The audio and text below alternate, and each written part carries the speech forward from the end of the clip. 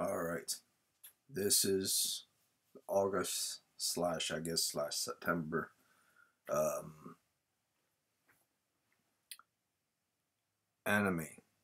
Classic anime. Actually, top five anime of all times. Uh, my name is Magheed. Gaming, anime, manga. That's what I do and to shorten this video so it doesn't become long. And for those who've never seen any of these animes I'll just make it as fast as I possibly can and short and sweet as I possibly can and keep my opinions thereafter at the end. So this is kind of August slash September. And I could only do August slash slash September because uh, in September I'm going to be very busy. So I thought to myself I want an August anime primarily for August, but I want one from eh, for September as well because I'm going to be busy in September. So here it is. This is five best anime of all times, and they still hold up to this very day, and they will hold up for the next ten years or probably the next twenty years.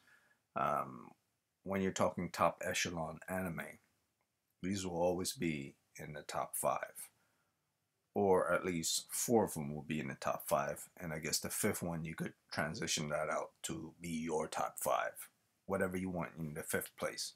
But the first four will always be in the top five.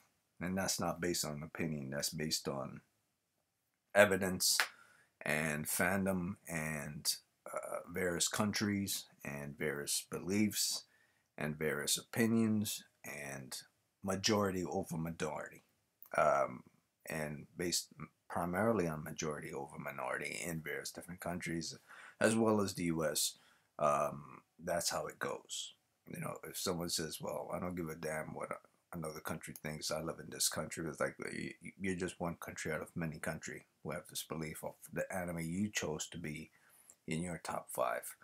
I do this based on international belief, not based on single-minded individuals who are, you know, who cares what anyone else thinks? Um, this is a majority over minority rule for anime. So, without further ado, these are the top five based on fandom, based on my personal opinion as well, which I put to the end of everything without after I factor everything that's considered by a mass audience on a worldwide scale.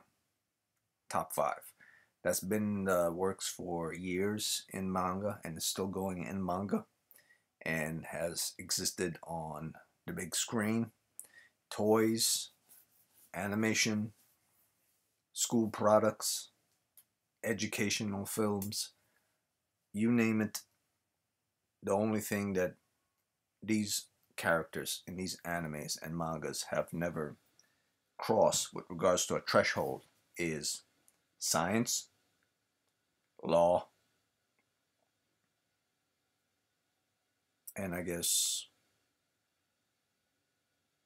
no, I wouldn't say yeah, science, law, and uh, cooking, possibly cooking. These specific top five, anyway. And why I say these because um, everything in this in these animes have touched on a topic with these various fields before, with with other various fields before, except for these three, and have educationally spoke on various different fields in various different education in the world within these animes. So actually, there's one other, and it's social work. I keep forgetting that. Sometimes you could look over social work because, um, you know, it's, it's not something that's everyone does anyway. So that's another thing. And no, doctors are, are considered because subject matters with regards to health and caring of one's health and that type of stuff has been emphasized within this anime as well and how to treat wounds and how to survive and how to police a state and how to survive in the wilderness and how to uh, graduate from college and all that stuff and how to uh, escape when you're trapped how to excel past your potential and how to build muscles or how to build your brains and how to escape um, certain scenarios when it's critical, how to evolve as a human being, how to evolve as the human race, how to better oneself, how to better one's mind, how to better one's psyche, how to better one's financial gain. Everything in these top five animes have emphasized on every type of job in the world, not to the point of they're the go-tos for education. They're more like the 15 to 25 cent marker with regards to what you learn in various different fields applied within anime. Other things, no. Besides those things, the entertainment value is the main thing. The fun factor is the main thing. If you don't take something out of these animes, you won't get anything out of these animes. So they have to be good to last this long years down the road. So I'll start off as quick as I possibly can. The first one is the number one on my list. And will always be the number one on my list. And that's Hunter Hunter. Why not One Piece? I said it before and I'll say it again. There are certain things that are questionable in One Piece, just like there are questionable things in any anime, or most animes that are tailored primarily for boys, or primarily for girls, or for everyone else. There will always be questionable things. But to me, to, to me, um, Hunter Hunter has the least of those questionable things, except, except for one or two things. So having one or two questionable things in your anime compared to many animes that have many questionable things, I think that's fair. One of them is a character called Hisoka. And I'm pretty sure you can understand the reason why I say that is once I get into this. So this is Hunter Hunter, the very first of these animes. And I consider this the best because based on everything I've just said, it touched on every single subject matter in the world except for the one that I didn't point out. Um, you know, uh, human resources within, uh, uh, I guess, a human, uh, I don't know, a, a department of labor or something like that. Or science, like science level science. Or that you would find something like Dr. Stone. Or a law that you would find within the courts or maybe something that I haven't touched on yet that this anime has not touched on itself but majority of any type of job you could possibly think of has been applied at a certain point or other in this game or I should have say not in this game but Hunter Hunter was made a game as well but in this anime specifically and so like I said without further ado I'm gonna get into it because I don't want this to be uh, theoretical discussion about my favorite anime, um, or of my favorite animes. So this is Hunter Hunter. This is the location. It's called Whale Island, and on this Whale Island is actually looks like a whale. It's the design of this whale, and the primarily the primary goal to this um, top five is to identify why they're considered top five and why they're top five and why should you should watch it. So as I'm getting into it, as I go through each image to represent each story or part of each arc. I'll give reasons to why every now and again during those step process to why these top five are the greatest top five of enemies of all times. The next image is our main protagonist, Gon. And part of Hunter Hunter, he's the main saucy ingredient. There's a story to everything, and everything must have a story. Like a plains, you must have rocks on the plains, you must have hills on the plains, and mountains that are on the plains. But everything starts from a foundation and a ground. And every foundation, every ground is a flat surface. And on those flat surfaces, you have contours and concaves on those flat surfaces.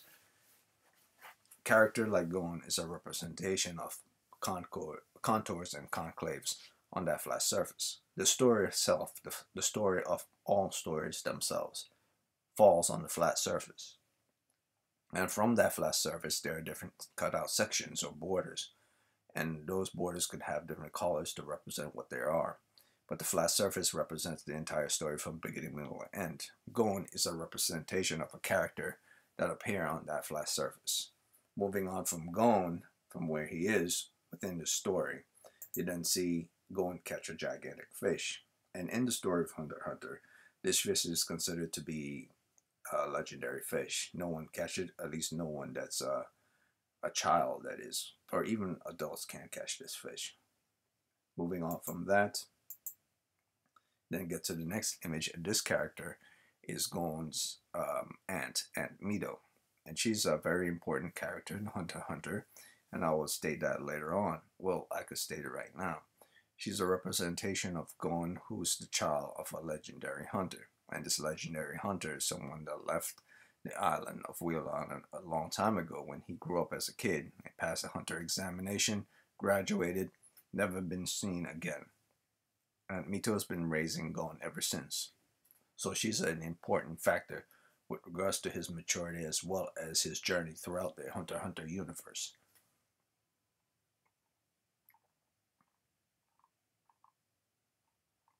And this is why I don't like scrolling up sometimes. It skips certain things. So moving on from Aunt Mito, go down to the next image. We see a kid named Kurapika. And his name is Kurapika because he's, well, that's the name that he was given. I don't exactly know the reason why he's called Kurapika, but I just know the reason why the people who created the manga call him Kurapika. Kurapika is a strategist. Kurapika is uh, uh, kind of conceited. Kurapika is kind of full of himself sometimes. Kurapika is very intelligent. Kurapika is like the guy you want on your team to be the one to solve the puzzle in order to get yourself out of a sticky situation. Kurapika, Kurapika is also can be considered uh, uh, uh, transgender. I don't know if it's fully that's fully true, but I'm assuming based on later throughout the the manga, um, it's stated that Kurapika is not identified as either male or woman. Um, you just assume Kurapika is male because he hangs out with dudes or she hangs out with dudes. And the description for Kurapika's gender was never pointed out. It was never brought up because it was never the essential point of Kurapika's existence. His sexuality was never something to be considered or even point out and since simply because the the writers and the, the artists decide not to point that out because that wasn't relevant to Kurapika's existence or Gon existence or Killua's existence or Leorio's existence, um, it wasn't something that was of any relevance whatsoever. However, as Hunter Hunter went along, Kurapika became a fan favorite to many, and so people wanted to know more about Kurapika. Eventually, they found out that Kurapika is not actually a dude. Um, but even I don't know if that's fully true. And even many people don't know if that's fully true. We're assuming that Kurapika is a woman hiding to be a man. But since it's never been revealed that she's, and I could call Kurapika a she, um, fully revealed that he's a she, well, in I guess in scenes that show that she has, you know, lady parts and stuff. This and this Hunter Hunter would never show that whatsoever at all. Um, you have to assume that the she is something that's purely in your mind, and you have to label Kurapika as a she. But since the writers and uh, the creators of the manga never pointed it out, she could possibly still be a he. That's why I say Kurapika could possibly be transgender. Moving on from that, you get to Leorio, and Leorio has always been Leorio. I'll just leave it at that. The big mouth guy who's smart mouth, who wants money to save his friends or to, to save his life if it ever comes down to the same situation that happened with his friend. And if you have money, you could solve any problems in the world. That's Leorio's, Leorio's philosophy. However, that's not the real Leorio. The real Leorio is the person who wants to actually save people from dying. because he's going to be a doctor. That's his main pursuit, to be a doctor so he could save people from dying and things that happen to his friend does not happen to everyone else. So he needs that currency in order to see his dream come to life. The next scene we see is Kurapika on the boat with Leorio, both of them having an argument. Leorio said something bad about Kurapika's people. Kurapika says, take it back. They get into a little argument. They go on top of the, on the deck of the ship. And during this process, they get into a hand-to-hand combat fight with knives and, and whatever it is that they were using. And another thing to point out about Hunter Hunter, Hunter Hunter is really not an anime for kids, to be honest with you. Yes, kids could watch it. It's not like this is Berserk we're talking about. But Hunter Hunter is not what I would consider something that anyone under the age of 12 should be watching whatsoever at all. Simply because in Hunter Hunter, unlike many animes, both modern and old ones back in the days, when the people die in Hunter Hunter, they actually show it, like, like Game of Thrones style. Now, we're not talking about individuals getting their head pummeled in or the eyes gouged out and they're showing it bursting out like Angel Cop or something. But we're just, it, Hunter Hunter actually shows the person dying. Like, show them get stabbed or they get their head chopped off or they get exploded JoJo style. Basically, Hunter Hunter is like JoJo. They'll show it if they have to, because it's meant for teens. It's not meant for kids. Um, that said, moving on from that, both both of them have their little fight on the boat, and from there on after, um, they stop having to fight with each other. Once someone fell off the ship, uh, a sailor um, that's on the ship to take care of the ship, and they're all on the ship in order to go to the hunter exam, or at least they're all initiates to become hunters and to take the hunter exam. So this is a preliminary period, or should I say, this is the admission period. They're not even in the exam yet. They're in the admission process for taking the exam at the moment.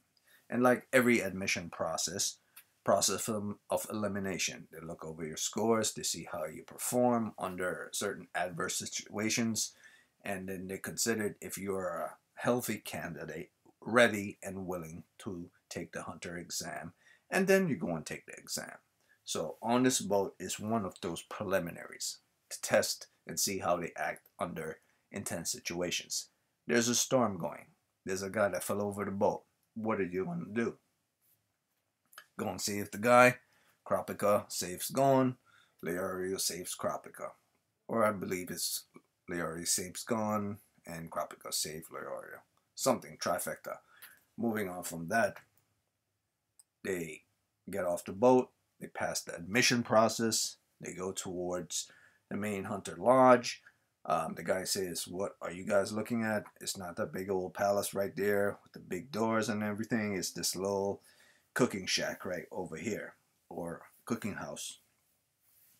They said, what, this beat up place? Said, uh, yeah, this be the place. This is an entrance. Because if everyone knows where the actual exam took place, and every joker would show up to the exam expecting to get admitted, or enemies would find out where the exam is taking place and they would want to sabotage it. So it's a good thing to have a place that's run down within a big bustling area. So not to stand out. So that said, they enter into an elevator. They go down the elevator, which goes down to the 100th floor, I believe. And in this room, after passing their mission, they have now entered a room where many applicants are going to take the first hunter exam. Moving on from that, you see the first of these many people who are going to take the hunter exam, and he's the first person to actually kill someone. And like I said, not for kids. This guy straight up murdered someone. That's all there is to it. I believe in the in the more recent anime, they made his um, the way he killed uh, the guy is his hands. The guy's hands turn into flower petals or into uh, card colors or something like that. But in the old-fashioned anime, and I believe even in the manga, um, it just shows that his hands dis disappeared and he bleeded out or something. Basically he didn't straight up kill the guy, like stab him to death or explode him or everything. The guy basically bled out because his arm was gone, and he died from his arm being gone. I believe in the 1990s anime version, he was stuck inside of a wall or something. So um, he died from being stuck in a wall.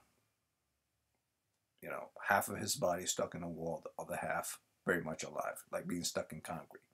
So he died regardless. This guy straight up was the first person to kill someone within Hunter Hunter. And this was the very second episode, if I'm not mistaken, within Hunter Hunter. The very second episode of the very first season of Hunter Hunter. So that should give you some idea of what Hunter Hunter is. Unlike Naruto or unlike One Piece or even Dragon Ball Z, people don't start dropping off like flies until past the fifth episode, I believe, fifth or sixth episode.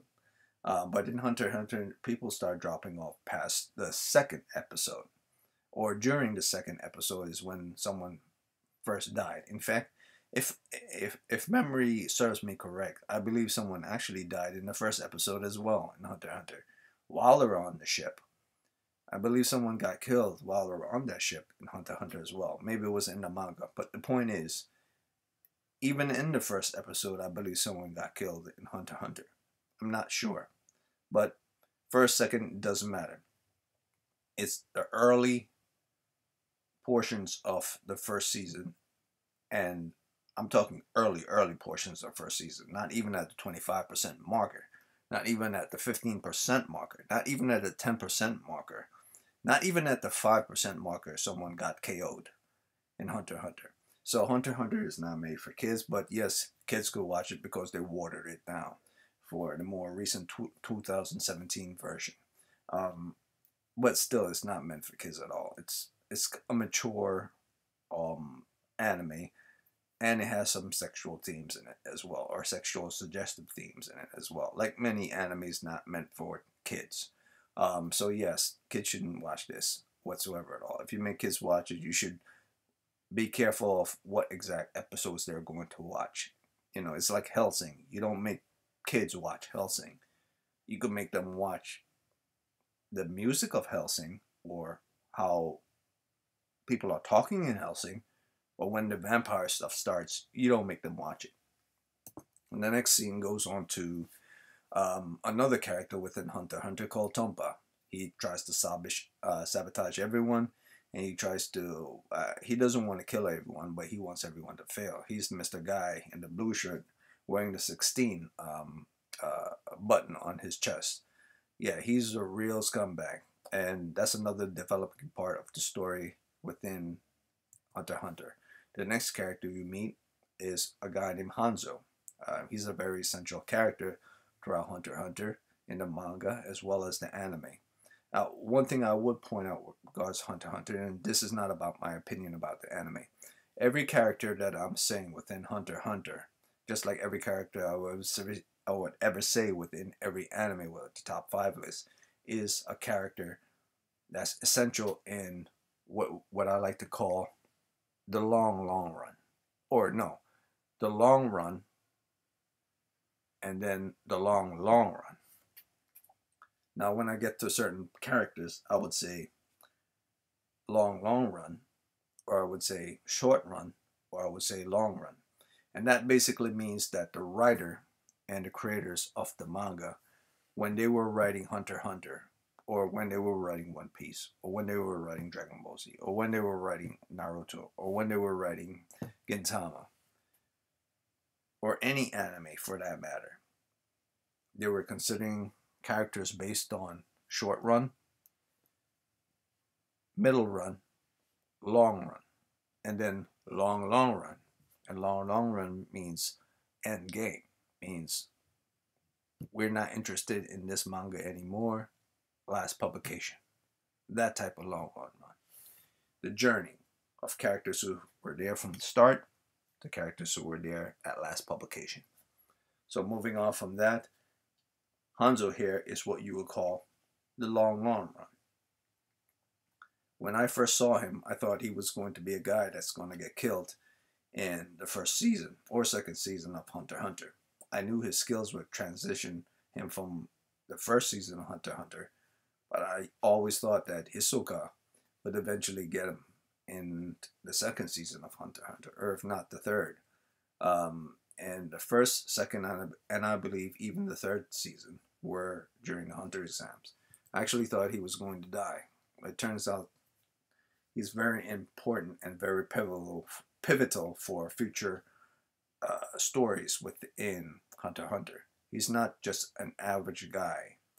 Um, it's possibly that this guy was based off something that one of the writers or the creator of the manga found to be very interesting and wanted to keep this guy alive for reasons I don't know, but he's very essential towards future stories.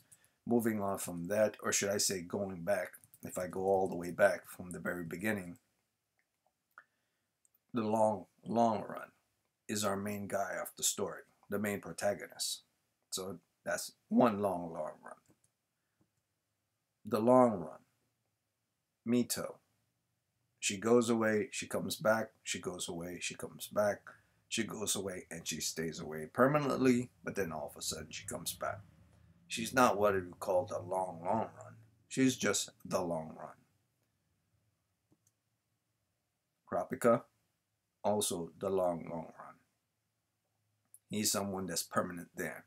He's not a go away and come back guy or girl. He's a a permanent part of Hunter Hunter. Is probably the most important character in all of Hunter Hunter because his character is attached to a story that's attached to someone else's story. Um, that's an essential part of the manga. And he's more important in some ways than the protagonist of the story. So, in when you think about Hunter Hunter, you think Gon and you think Killua. What the main character of Hunter Hunter will probably be the most important and most pivotal character in all of Hunter Hunter and has been for quite some time, even though he's not the main protagonist, have always been Kurapika. Um, why that is, is that's because of his character, his intelligence, his, his, I guess you could say his selfishness, but at the same time, self-assurance, and is, I guess he's one of those characters that fighting against himself all the time. He's both conceited, but he's both grateful at the same time. He's both um, boisterous in his behavior of how he do things, not verbally, but how he does things when he does them. But at the same time, he's humble. So he's he crosses two lines: the line between going too far and the line between not going far enough. So you could always play around with, with Kurapika to see where you could stretch him, where you could throw him, where you could catch him, where you could reel him back in. He's one of those characters that you could use and, and to create any type of story around because most of his ideas and his strategies are based on his mind alone. It's not completely based on his fist. And simply because he have a unique type of skill that's attached to him, he could use his mind to make that unique physical skill becomes more physically powerful. It's like if Goku was very intelligent, he would make his ability ability to use Kaioken even more stronger than the Goku we who we know for years that used Kaioken. If Goku was that intelligent, which he's not. So moving on from there, we'll go on to the next character. His name is Killua, and I'm going a little slow, but I'm setting up these characters. He's the long, long, another long, long game. Leorio is also a long, long game. Forgot to mention that. And Killua is also long, long game. You won't see his story come to a conclusion until Gon's story comes to a conclusion.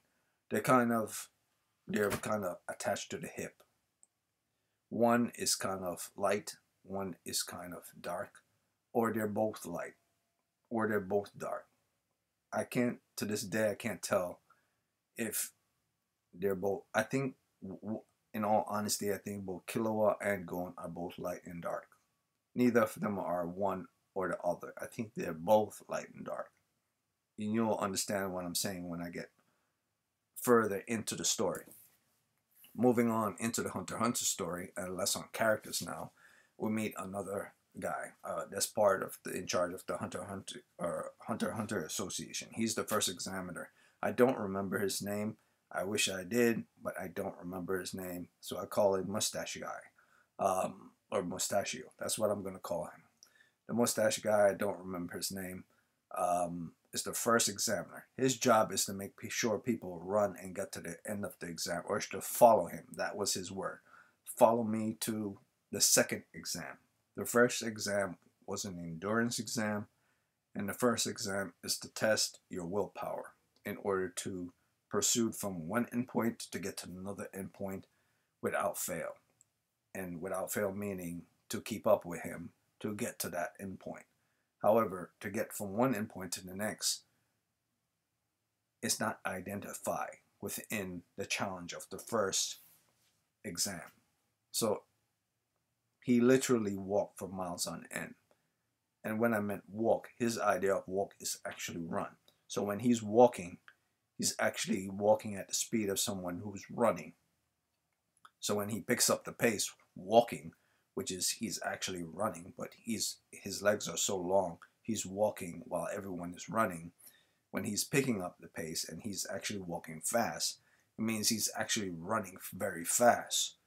Um, but it doesn't look like he's running very fast because he's so tall and his he has an awkward way of walking that he could take at least four steps forward and it will come across as long strides to anyone else but to him it was just a full step forward so one by one applicants fall victim to the stress of running to try to keep up with a guy that's walking but seems like he's running. So he falls short. I forgot his name as well. He falls short, number 187. Um, Kurapika and start to sweat balls and they start to say, oh, this is crazy. This guy's been literally running for miles on end now, or they've been running for miles on end. He's been walking for miles on end, and there seems to be no end towards the tunnel that they're running through. And they've been running for probably hours now. Um, not a full day, but for hours. And they're still running. And so this is basically like a marathon. A marathon, basically. Not a mini marathon, a full blown marathon. Uh, they had no idea that they were going to be running a marathon, but they did. And the marathon lasted for about hours. Uh, so much so that the time frame for which they entered into the building in order to get down from the 100th floor to the basement and to proceed onto the first exam, um, by the time they got outside on the other side um, to go to the second exam, it was already, I believe, late afternoon. No, no, it was early afternoon, but it was early afternoon periods or the late morning periods. So who knows what time in the morning they got to that area but it doesn't really matter. Hours pass anyway. Hours, not hour, not one or two, like three or four hours pass during this run period for this marathon. And at the end, Gon, Killua crossed the finish line, both at the same time. They challenged each other. Each other said that they're going to pay each other um, uh, in meals. He's going to buy this one meals. That one's going to buy that one meal and that's that for the first exam. The last guy to try to go under to come out at the other side failed. The gates close on him. He said, wait up for me. They closed on him. He failed. He has to come back another year.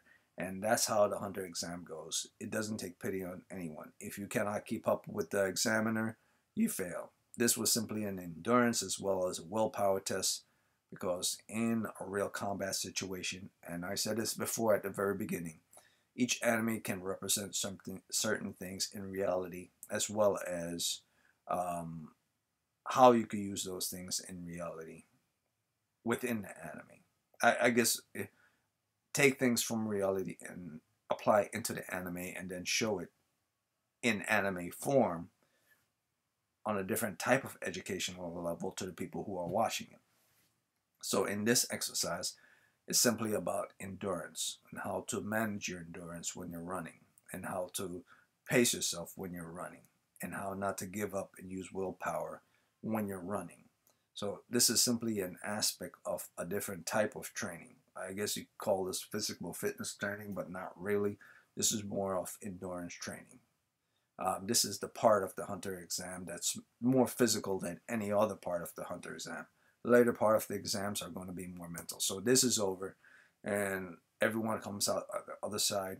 And I really thought that Mr. 107, um, that's shown here, was going to be one of the main characters within Hunter Hunter. Turns out I was completely wrong. He's just an average Joe, but um, I thought he was the G at the moment. And in fact, I thought he was going to be a big player in the Hunter Hunter anime, but he was just a random dude.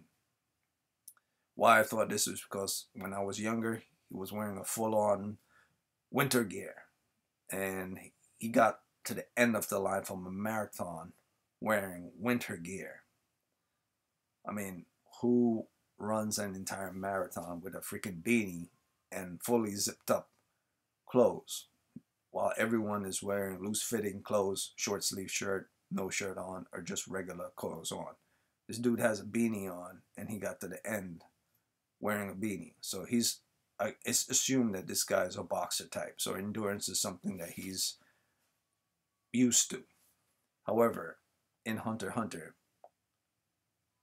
that isn't enough. So moving on from that, you have to be intelligent, you have to be smart, you have to be crafty, you have to understand how to your terrain works. So another part of Hunter Hunter Hunter that's very intelligent is the use of using your assessment to your surroundings, using your brain. Um, a victim of the circumstances is someone tells you to do something and turns out that person is not who you think that person is.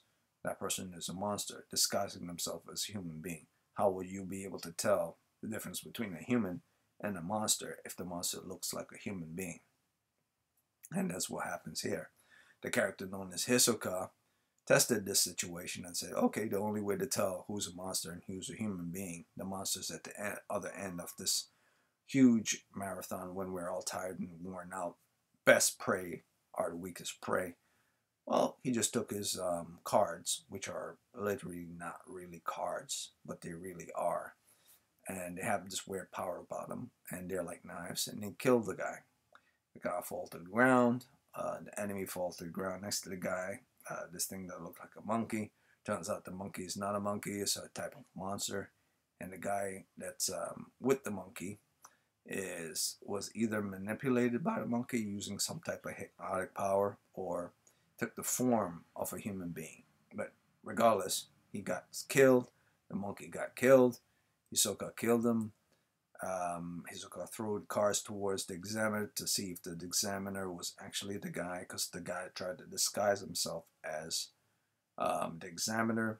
Uh, only way to test that the examiner was real store the cars at the examiner, see if the examiners catch it, throw the cars the guy, see if the guy would catch it. The guy didn't, the examiner did, the examiner survived, guy's dead, the vultures feed on his body. The anime once again tells you that this is not for kids. Show us that vulture feeding on the dead man's body. Moving on even further to show that this anime wasn't made for kids, a mushroom starts growing out of people's heads and bodies. Not a pretty sight. Moving on from there, it shows once again not made for kids. People falling to their deaths off cliff. Of course, the anime didn't show them falling to their death off the cliff, but it did show bodies, bloody bodies on spikes off cliffs. Um, I believe the manga um, showed them running off the cliff and falling to their deaths on the spikes off the cliff. And the old 1991 probably did worse than that. I don't know. Um, the point is, uh, yeah, lots of death in Hunt the Hunter. From the first, from the second episode, moving forward, people start dropping like flies, literally dying. Um, Gon and Killua themselves got eaten by a giant frog, I believe, and Killua took the poisonous drink that um, Tompa was trying to give to them, the guy that was trying to make everyone failed, um, the fat guy. Uh, used that poisonous stuff that was within the drink and give it to the frog that swallowed them. The frog didn't like the taste of it.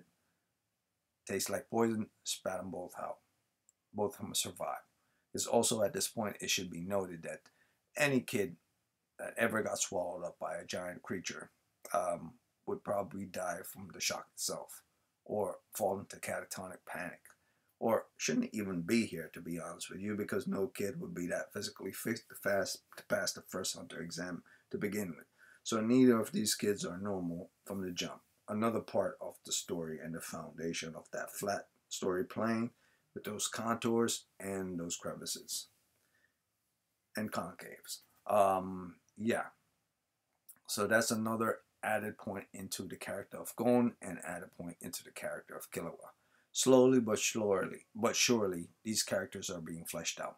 And the great part about Hunter Hunter, it doesn't have to tell you that they are fleshing out, and they don't have to get into some dramatic speech of their who they are, where they come from, on all this to flesh themselves out. The story itself, based on the circumstances that they're in, can flesh them out for them. Another unique thing about Hunter Hunter in comparison to other anime sometimes the story itself can flesh the characters out, not the characters needed to flesh themselves out. Uh, moving on from that, you see Hisoka in the forest with a group of uh, uh, candidates to pass the, who passed the first hunter exam, going on to the second. He killed them all. Why? Because they decided they're going to give up. They're going to try again next year, but they were going to try to take him out in the process because they knew of who he was and they knew he um, He's someone that doesn't respect Hunter or the Hunter exam, that he's a cold blooded killer. And they saw how he killed that other guy at the very beginning in the first part of the exam and decided they were going to jump him and kill him. Eventually, he kills them using his cards. And the mystery of how he killed people using playing cards, which is lighter than uh, than even, uh, I guess, even a cell phone. You can't really kill someone even a pen is more dangerous than a playing card. So it's not explaining how cards are stronger than a pen or even a knife. However, that secret I'll describe that I'll describe that secret later. So moving on from there, we then see after they pass the second part of the hunter exam, or they're going to go and pass the second part of the hunter exam. Um, they're on a plane. If they got to the murky woods or the murky forest, um, or the dangerous forest. They are on this airship, and on this airship, a guy named uh, Netero is seen here, an old man. They don't know that Netero is the leader of the Hunter Association. They thought he's this crazy old man who wants to play um, catch with the ball, you know, until I believe one of the Hunter leader Hunter um, of the Hunter Association, uh, one of the examiners of the Hunter Association, basically tells everyone that he is the leader of the Hunter Association, Netero. So Gon and Killua are challenged to, to catch the ball in order to pass the second exam. In fact, he gave the ultimatum. He said, listen, if you could catch this ball from me, you could pass the second exam, no problem. In fact, he even added something else on top of that. He says, if you could catch this ball from me, you don't even need to take the hunter exam anymore. I'll pass you automatically. And he was quite serious about this. So they never caught it, obviously, but they were very motivated to do it. And Gon is the type of character that does not give up. Another part of his character development. And another thing to watch out with regards if you're ever interested in reading Hunter Hunter or watching Hunter Hunter. Um, one of the reasons why this is my number one anime the character Gon is someone who's very single-minded to a fault. Typically single-minded to a fault, characters aren't that interested. I mean, aren't that interesting um, because you can't work with them a lot because they're single-minded. But that's the intention of people who created the character Gon. They wanted his behavior when it comes to doing something and to trying to achieve something to be single-minded. But inside, they wanted the complications to be hidden underneath the thing that are single minded, so that when he pulls on one of those things in order to achieve a goal under his single mindedness, he gets to get one of those things fleshed out on top of his single mindedness Thus, no, it doesn't make him a normal single-minded person. It makes him a more complex single-minded person to make him feel like he's more than what he is. And that's something I've always liked about the character Gon as well. It's not that he's always one way, but you can pull on the threads of different characteristics in order to bring life to his character that would have been dull and dreary when focus is on him himself. Moving on from that, you get to see a character who has more complexities than Gon himself, and that's Killua, uh, the character we met before. And this is fleshed out even more of how he's more complex than Gon in some ways. His hands harden up, his fingers turn into sharp daggers or sharp claws, um, like a beast claw, but sharper than a beast claw. In fact, his fingers are sharper than knives themselves, sharper than, sharper than daggers. His hand has literally has literally turned into concrete, or I believe, as he called them, harder than steel, uh, to the point that his veins are popping out because the energy that requires his fingers, his muscles, his bones, and everything, even his flesh in his body, to tighten up to that degree, has put a vast amount of strain on his hand turn his hand into a weapon that could pierce through any body or any armor or any metal whatsoever. And his story will be fleshed out even more through Hunter Hunter. Moving on from that, they go on to the third part of the exam, and the third part of the exam happens to be um, within a building. The second part of the exam that was um, I didn't state and I didn't show was a cooking exam, and I breezed past the cooking exam, which is the second exam in Hunter Hunter, because if I stayed on on this for too long, um, the whole my whole five anime for August slash September would go on forever because One Piece is very long. Um, so I'll cut that short. So uh, the next scene goes into this guy doing a rock climbing, doing the third exam, or in the process of doing the third exam, and he gets eaten by one of these creatures. So long, farewell. The next scene shows the four characters are four main characters, and to be honest with you, I think all four of these characters are the protagonists of the story of Hunter Hunter. Yes, Gon is the first person we see, but I have this strange feeling that uh, even though everyone believes Gon to be the primary protagonist of the story, that the primary protagonist of the story is all four of these guys, or at least the primary protagonist of the story is two of these guys, if I'm completely wrong. Um, and that those two people are either Garou or Kurapika, or Kurapika and Gon. That's what I'm thinking. Um, it always goes back and forth towards Gon and Kurapika, to be honest with you. Oh, but I believe I might actually be fully wrong about this. The, the main protagonist of the story might actually be just Gon, But how this enemy feels, how this enemy push forward, makes it to a certain level that each of these characters get their time in the spotlight to the point that you feel that they're the main character in Hunter Hunter.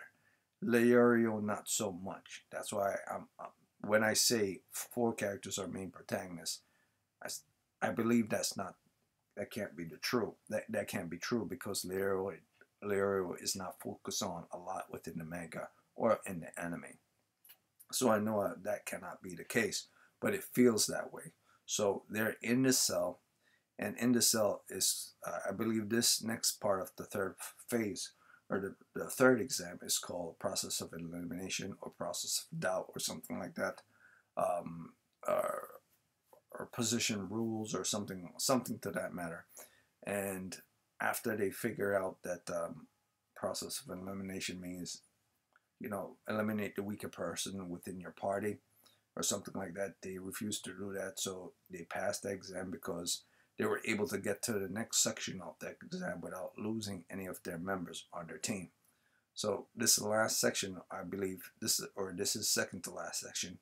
They come onto this little walkway, and that's a singular walkway that leads to this platform, like an arena stage, where they have to do a one-on-one duel with someone. And it could either be to the death, or it could be to KO, or they could fall to their doom. Depends on how you want to fight, I guess. Because in Hunter Hunter, it's not about you beating your opponent. It's about you surviving. Hunter Hunter is a is an anime about surviving. You could survive by knocking your opponent out. You could survive by outwitting your opponent. You could survive by killing your opponent. But at the end of the day, it's about surviving based on the circumstance that you're in as a hunter. Hunter or hunting is it's called Hunter Hunter for a reason, obviously, um, because you are a hunter and you're doing the job of hunting, and the job of a hunter is to survive based on what he's hunting, or to survive based on uh, what's around him or to survive if what he's hunting starts to hunt him or her or them. Depends.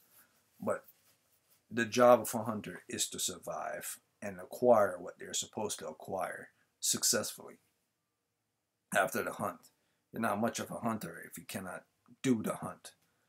So moving on from that, we go to Kurapika. Kurapika's opponent gets beaten to a pulp, or should I say, Kurapika's opponent gets grabbed to the face and then get KO'd one punch, and under One Punch Man rules, get knocked out with one punch. Um, he lied on the floor, dead, and we'll move on to the next section of the exam. Uh, they escape the tower, or should I point out the fact of why he got knocked out with one punch? He got knocked out with one punch because he wanted to pretend to be someone for which Kurapika hates. And that someone is, or should I say, those someones are called the spiders. And the spiders are very much like the Akatsuki and Naruto. They are a murderous group of people that take the lives of others for their own ambitions. Apparently, the, the spiders kill Kurapika's whole family, and as well as his entire clan. And so Kurapika has been on the revenge path ever since his entire clan was wiped out and their eyes were taken from them. So a little bit worse than the Akatsuki, uh, or should I say, a little bit worse than what the Akatsuki has done, because you know Akatsuki just killed people that are in their way or kill for their own reasons. The spiders basically kill people in their way for their own purposes and take from those people useful parts of their bodies to sell on a bidding auction. So that is kind of messed up in its own way. A little bit worse than Akatsuki, but I don't know. I, I'm still iffy iffy on whether Akatsuki are worse than the spiders or spiders are worse than Akatsuki when it comes to their actions that they take. So moving on from that, you get to the next section and we meet this woman. She's an announcer. She speaks to them about the fourth part of the exam. Um, and the fourth part of the exam is uh, basically uh, go into the woods and survive within the woods for as long as possible until the ship comes back, picks them up, and whoever survives and has the I, I, the chest tag or the badge, the badge number of their allotted opponent or their identified or told opponent, um, as well as keeping their own, they succeed. And they've passed the fourth exam, fourth part of the exam. So they know the type of uh, their the badge that they picked up, or should I say, the badge that they're they're given, or I believe it's something like picking out from inside of a box.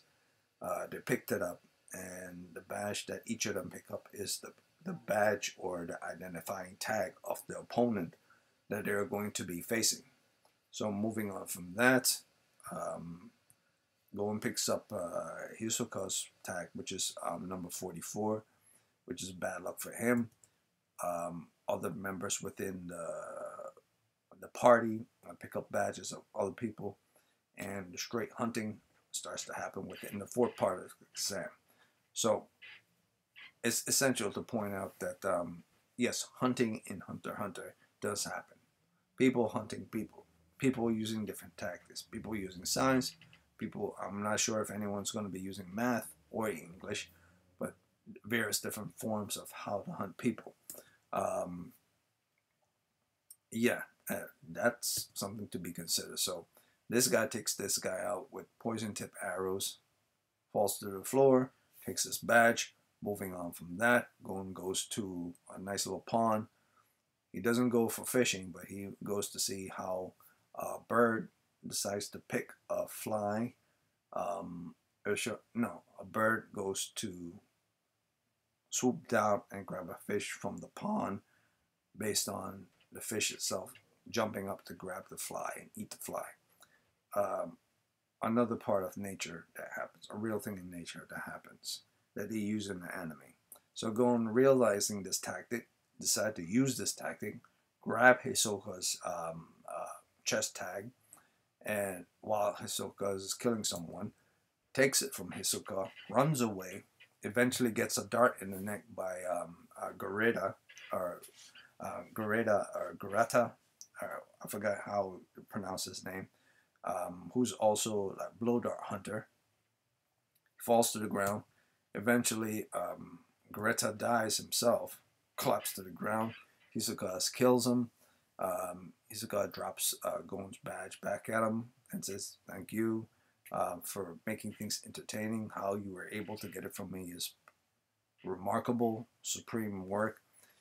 Um, Gon say he doesn't want the badge back, but Hisoka says, I don't care what you want. I'm giving this to you, and I'll use you when I need to use you for my own purposes because you were able to achieve something at your age that uh, no one has ever achieved against me. So Gon realized he didn't actually get Hisoka's badge um, because he actually got Hisoka, Hisoka's badge um, by himself. He realized he got Hisoka's badge um, out of pity. Not the way he got the badge, that he got by himself, but the way he, that he couldn't keep the badge by himself. The whole point of the exam is not only to get your opponent's badge, is to keep their opponent's badge without them taking it back and to keep your own badge. So he wasn't able to attain Hisoka's badge because of himself uh, and keep said badge. He was able to attain such badge and keep it because Hisoka made him keep it. So moving on from that, we get to the final part of the hunter exam called the fifth part of the exam. And the fifth part of the exam is a hand-to-hand -hand combat part of the exam. So during this hand-to-hand combat exam, Gon fights Hanzo. Hanzo fights Gon. Hanzo breaks Gon's arm. Um, Gon says he's not going to give up. He gets his arm broken. And in the process of, of that happening, during uh, the fifth part of the Hunter exam, Gon is completely um, knocked out and had to go to uh, medical room and then bed rest for quite some time. Gon wakes up to find out that uh, Killua kills his opponent within the fifth part of the exam. Killua asks, um, Gon asks why Killua killed his own opponent during the exam. And uh, he says because um, the opponent that uh, another opponent instigated him to in order to to get out of the exam by killing his opponent. And this other person that uh, made him do this or manipulate his mind to do so was his own brother, who was disguising as another hunter within the exam. Um, so that's how Killua got kicked out of the hunter exam, because even though killing is allowed within the hunter exam, during the fifth part of the hunter exam, killing was not allowed during the fifth part of the hunter exam. And that was a big no-no. So that was an illegal move that Killua did. He got kicked out. And this is the face of the guy that um, got him kicked out. He doesn't look like much, but he's extremely powerful. Kind of looks like a weirdo. Has a lot of pins stuck in him. His eye has weird eyes, weird hair, and weird ears, and weird eyebrows. But um, he's a completely psychotic person. And he's part of a family called the Zoldyck family the the family that Killua was part of. And Killua's father has same silver hair like he does, and is a famous um, assassin. Has been a famous assassin for years, and his basically the crest of Killua's family is legendary. It's been passed down from generation to generation to generation. They're basically uh, a house of assassins. You know, rather than a house of kings and a house of queens and princes and stuff, they're a house of assassins. And um, the mantle of ownership towards the next heir to the throne of being the leader of the entire house is going to go to Killua. And in order for that to happen, he has to throw away all attachments towards individuals, such as friendship and all this other stuff. Um, his brother was sent to spy on him to make sure he keeps to that path. Unfortunately for his brother, he found out that Killua started to behave erratic and not in the way that he was raised to be, simply because of his association with Gon. And Gon was the person that started to show Killua that there's a way beyond that, the way of assassination and killing, and that you could be your own man and make your own craft your own future for you. You don't have to follow in the ways of his family. As long as you have your will, you can achieve everything you want. As long as you know how to achieve it, in what way you can achieve it. Of course, Gon is not that smart enough to tell him how to, because Gon is still a kid and he's just gone. But Killua sees in Gon a certain way of achieving certain things that he never thought of before. This is not good with um, uh, Killua's brother, on the other hand. And Killua's brother name, this guy's name is Illumi. So moving on from that, Gon discovers that uh, Killua's been kicked out because he killed a guy. Gon goes up to Illumi and says, Illumi, where is Killua? Illumi says, you don't want to go to where Killua lives. My family's home. Um, Gon insists. Gon breaks his arm. Next scene we see is um, the house of Illumi's family. We see a heavyset guy. We see a woman with a laser eye. And we see a kid. And in this house, which is the Zoldyck house, um, these people are, each individual that are in this house are a different type of assassins. The heavyset kid used mostly his brains and his tech in order to assassinate people. The mom used um, her own personal way of assassination, as well as the kid using her own personal powers in order to assassinate people. Basically, every person in the house of the Zoldyck family is an assassin. Even the damn butler is, is an assassin. So when they go to find Killua in order to get him to join them again, be part of the crew, and to rescue him from his messed up family that got him kicked out of the Hunter Association to begin with, they had to go through another form of a trial or a contest or uh, a level of accelerating to make themselves stronger. And they had to push through a huge door that probably weighed like five tons or something, three, three, four, five tons. By pushing through this door, that was one of the hurdles to even get into the house of the Zoldyck family. After they successfully did that, which caused them about a good two days or so um, to get strong enough, probably more than two days, probably three days for them to get strong enough it might have actually been more than three days, but they've, they've been trying for to, to push anything that's more than a ton. It means you have to be like Arnold Schwarzenegger type. Hell, to push anything that's under a ton, um, you have to be an Arnold Schwarzenegger type. Hell, to push anything past 500 pounds, you have to be like an Arnold Schwarzenegger type. So each of these doors weighs anywhere from two to three or, or five tons like the first couple of doors are like two tons. Next couple of doors, one grows in numbers and numbers grow. Uh, closer you get to the house. So there are three doors in total. So you can guess how many tons they had to push just to get inside the front door. Uh, I believe in total, uh, it probably was like 12 tons before they even get inside.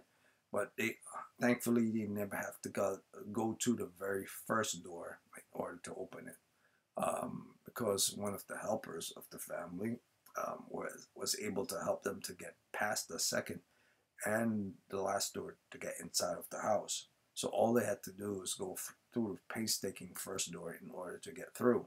Well, doing so, they met a character here, another part of the butler team. She decides to stop them. They decide to get past her. She decided that she doesn't understand why they want to get to Killua They they basically told her that uh, uh, they're friends of his. Um, the leader of the family comes in to see Killua being tortured by his brother. Um, the leader tells him, you know, stop, stop torturing uh. Um, I need to have a conversation with him. Um, I believe his name is Zeno. No. I mean, no, his name is not Zeno. I forgot what his name was. Um, not important. Moving on from that, Killua is then uncuffed. He goes to meet his father. His father's name is Silva. Um, that I remember clearly. Um, and Silva is the head of the family household, sitting on his, his chair, which is like a bed. Um, asks Killua what he sees in Gon, why he wants to become a hunter, standard stuff. He says at first he thought it was fun, but now he realized that uh, Gon makes him feel like he's more than just who he is. Doing so, he allows Killua to leave. Killua leaves and goes with Gon. They head off to the next part of the adventure within Hunter Hunter. So the exams are over. Gon is fully fledged hunter at this this moment. He has his hunter badge. He's now classified as a hunter. Hanzo is a hunter. Leorio is a hunter. Kurapika is a hunter. Everyone is a hunter except Killua, but it does not matter. As long as Killua is with Gon, they're best friends, things are fine. They go to this place called Heaven's Arena, and in Heaven's Arena, they become stronger. And eventually, they go to sign up. They meet this uh, this various people that are in the line. One of the guys look like Bruce Lee with his outfit. They move on past the arena. They get to each fighting areas within the arena. Eventually, they meet this kid, and um, this kid is an essential, not a long-term player, more like a sh short-term player throughout Hunter Hunter. He'll pop up every now and again, but he's simply part of the Heaven's Arena arc, if I remember that clearly. His name was Zushi, and he's part of the Heaven's Arena's arc. Um, later on, he might show up in future uh, Hunter Hunter stuff, but I haven't seen him since, so he's part of the shorter long term. He's not part of the long long term or the long term. He's part of the mid or short term. He's only part of the art. So Zushi is an essential part of this art, as well as his master. I forgot his master name. Um, I don't remember his master name. I remember the, the kid's name is Zushi, and he teaches Killua and Gon the art of Nen. and that comes later. And it only comes later after Killua has a fight with Zushi in the arena, when Killua could have easily killed Zushi using his assassination technique, but he didn't. He decided to go for a knockout. Unfortunately for Killua, he couldn't knock him out because Zushi was using um, Nen, and Nen allows him to use his internal energy, his life force energy, in order to um, use Ten. And Ten, I believe Ten is what it is called hardening your body. Uh, it's either Ten or Ren to harden one's body or one's constitution. Um, and so he was able to get up no matter how many times Killua knocked him down. Moving on from that, um, we get to see Hisoka showed up to the party within Heaven's Arena. They don't know why he's there. He's just there.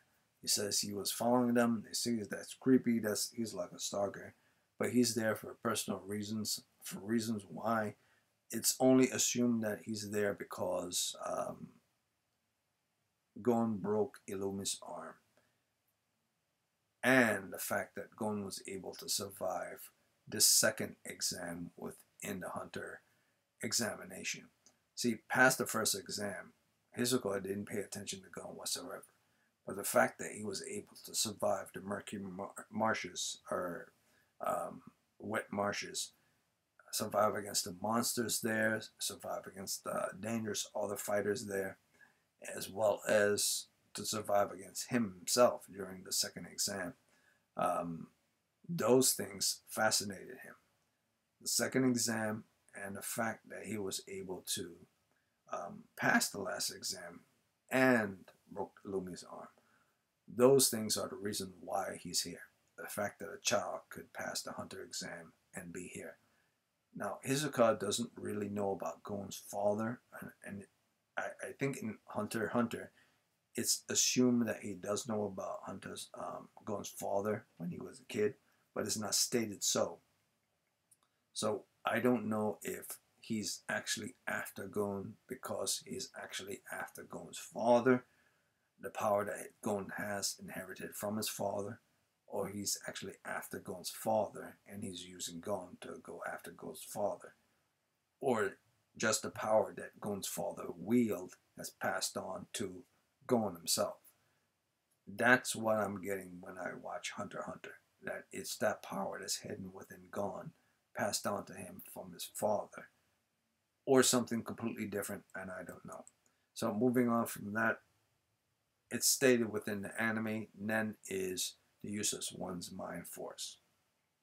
It's the nature, uh, or should I say, it's the use of one's mind force to manipulate nature, nature energy around you in order to make your body become immune to certain things that will eventually hurt you in the long term. And he Nen says, well, what by using that nature and by using then, um, which is nature energy or mind force, using your mind to manipulate nature energy, um, you could then cast um, that nature energy and make it into like using your mind force along with nature energy like a shroud over your body uh, or aura. Make your aura of, of, nature the wind around you and heat from your body and everything else as part of your existence as well as your mind to manipulate everything around you to become like a shroud of thick energy around you, like a, a second or third layer of skin, but it's invisible. And that's Ten. Uh, that's what uh, basically um, what I believe is what was used during Zushi's battle against Killua in order for him to keep standing up. And then Zetsu is another form of martial arts um, that's within Hunter Hunter that's called suppressing one's presence and suppressing one's um, natural powers or mind powers from your enemy as well as from your uh, for anyone else who's trying to defeat you or trying to kill you. Um, it's a way of hiding your presence completely. Now, it cannot hide you yourself, like say if you're standing out in the open field, you're obviously being seen standing out in the open field. But if you're hiding somewhere in the open field and the enemy can't literally see you with their eyes, but they could sense you based on the use of Nen, then it doesn't matter if you hide because they'll be able to sense you. What Zetsu does is Zetsu hide that energy force that all human beings or all animals have from being identified. So you're basically hiding both your uh, your physical presence by using your body to hide yourself, as well as hiding your energy of who you are from your enemy, and that's what that is. And he described these are as uh, five teachings or something like that, and then he teaches it to the, he teaches it to Gon and he teaches it to Killua, but eventually he starts to see something, something that's very strange. And the strange thing happened to be um, growing inside of Gon. He doesn't know what it is, but it's a type of energy that he feels that's um, unnerving. He cannot describe it. It doesn't have a form or anything. It's just this feeling, an unnerved feeling that he gets when he, when Gon is showing his behavior when he's fighting in an arena or when he's using his powers in a combat situation, not when he's meditating, only when he's in a combat situation and he's concentrating. And it's because of this he starts to assume that Gon might actually secretly have a type of devil inside of him or a type of monster that's resting inside of him that he doesn't know about or and he doesn't understand or it's possible maybe he's describing that this behavior or this feeling is Gon's inability to see a solution to another problem without using his way of solution to a problem. Like I said before, Gon is very one-sided or one-track minded, and his way of solving every problem is only using one method in order to solve a problem. What I meant by this is he could use a fishing hook, he could use playing cards, he could use the environment around him, he could use anything to be his opponent. But single minded in how he does it is I am going to beat you, and you can't make me not beat you. And you can't tell me that I can't beat you because I'm never going to give up until I beat you. Even though he knows, even though in reality he might not be able to beat his opponent, he will never stop until he beats you. Even though he really can't beat his opponent, he just won't stop. It's like there's this hunger within Gon in order to keep making himself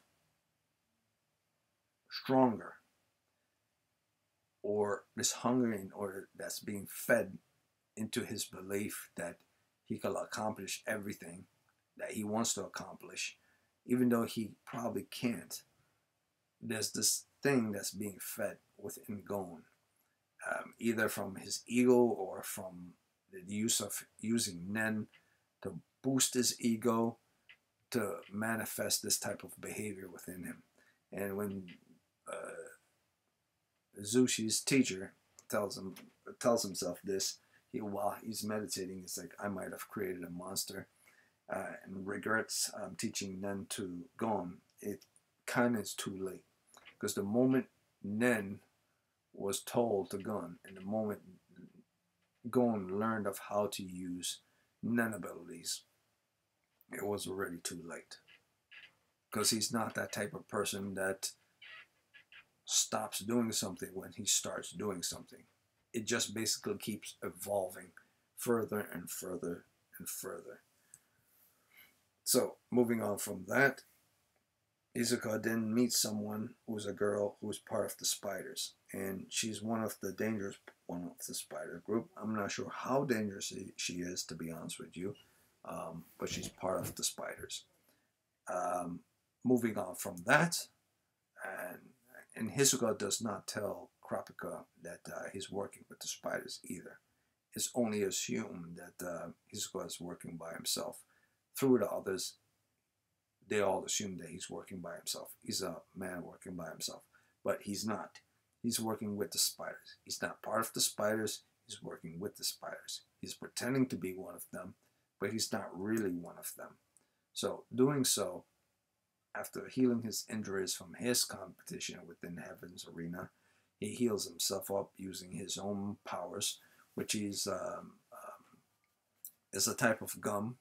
Um, I forgot his name, uh, the name of the gum that he used. he's called uh, something elastic, and it's used in order to move everything, move his weapons, harden his weapons, heal his body, um, make him get from place to place fast, and as well as um, evade, as well as repel certain actions and move from other opponents.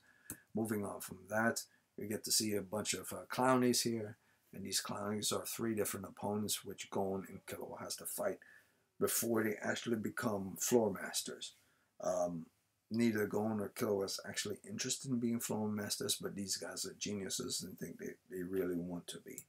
Um, eventually, Killua shows up to his place and say, "Listen, man, we don't give a damn about being floor masters, but we don't want you to harm Zushi, and I want you guys to either play fair, your other little cronies to play fair, or you quit, because if you don't, I'll kill you." So the best thing Killua tells him to do is don't show up to your next match quit, get out of Heaven's Arena, never do this type of work again. Because if I see you in Heaven's Arena again, I'm going to kill you. So Moving on from that, the guy quit, never showed up to this match. The next match that did happen is between, or should I say, the final match of Heaven's arena that happens after many matches happens is going in, in uh, Hisoka's match. So it's at this point that within anime, uh, certain type of sexual themes are presented within the character of Hisoka. It's assumed that Hisoka has a thing for boys or young boys, which I'm not cool with whatsoever at all. But it could just be a fetish of his, and he, he's probably not a pedophile. But it's, I guess the anime is trying to uh, make it to a point of saying that Hisoka has is is kind of a pedophile, but he's not really a pedophile. He just have a thing for for strong people, and Gon and Killua just happen to be strong people that he see in the future. Um, but there are certain scenes he gets turned on by um, by Gon and Killua, which makes it to makes it a very compelling case to say that this guy is probably you know a pedophile type. I mean, he already have murder on his roster. He already have espionage, theft, and all sorts of other you know, nefarious activities on his old roster of criminal offenses throughout the history of his life. Why not add pedophilia as part of it as well? But the anime doesn't go deep into that stuff. You know, he's, he's not actually, you know, doing stuff like that to an extreme. It only hints at the fact that he might just like boys, or he might just like anyone who has powers. Could be a man, could be a woman, doesn't matter, and he gets turned on by it. He gets turned on by the, the fact that someone is more powerful than him or could have a certain type of power that he wants. Maybe he's just a weirdo that way. Um, moving on from that, Gon and Killua leaves Heaven's Arena. They end up back with Mito and Mito's grandmother, or should I say Gon's grandmother, and they sit at the table, they say their grace, they eat their pancakes, they eat their food, they eat the fish, they enjoy their um, dinner slash breakfast. It's very weird. Um, and eventually at the end, Mito gives um, Gon this box left by Gon's father. And Gon's father name is Jin, or Gin. Um, G-I-N-G, I believe. And what this bop re represents is it represents Gon's future throughout other arcs that are going to happen later on in Hunter Hunter. Preferably one called Greed Island. And before he gets to Greed Island, he must uncover the secrets of what's inside of the box himself. But in order to do so, he has to use Nen in order to open the box. So once he does open the box, he found a joystick card and a ring from his father, I believe, and also a tape recording. Um, he played that tape recording, um, and I believe he kept the ring and um, something else. But moving on from that, we get to the next scene eh, within Hunter Hunter. I believe this is past the, the first season, going into the second season, where they're officially hunters, and now they're working with different organizations throughout the different parts of the world. Killua is um, working with, alongside his, uh, well, he's not really working with his father, but he's doing stuff for his family. And uh, Kurapika is now working for a syndicate organization because the syndicate organization have information related towards getting um, his eyes from his family.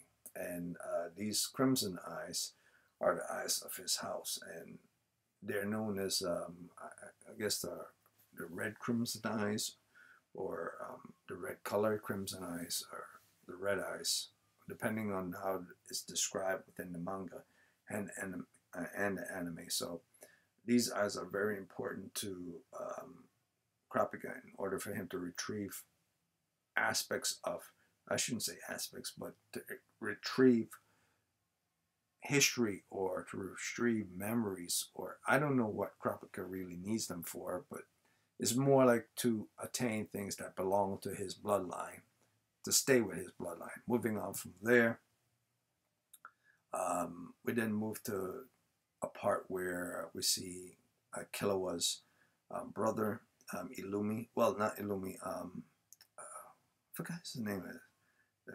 I guess the it's it's hard to remember every name of every character within anime, so I'm just gonna leave that there.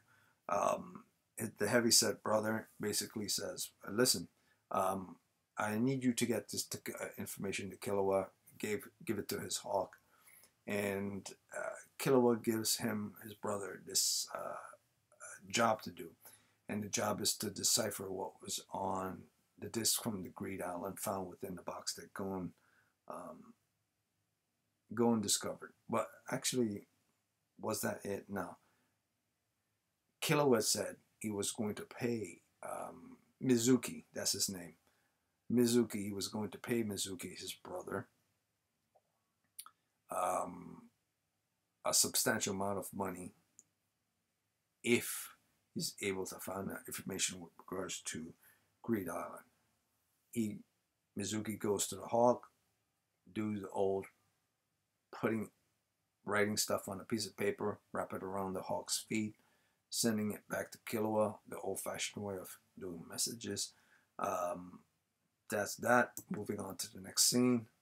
Um, Killua gets the information from his brother, um, state where the location of the possibly uh, true copy of Greed Island can be found.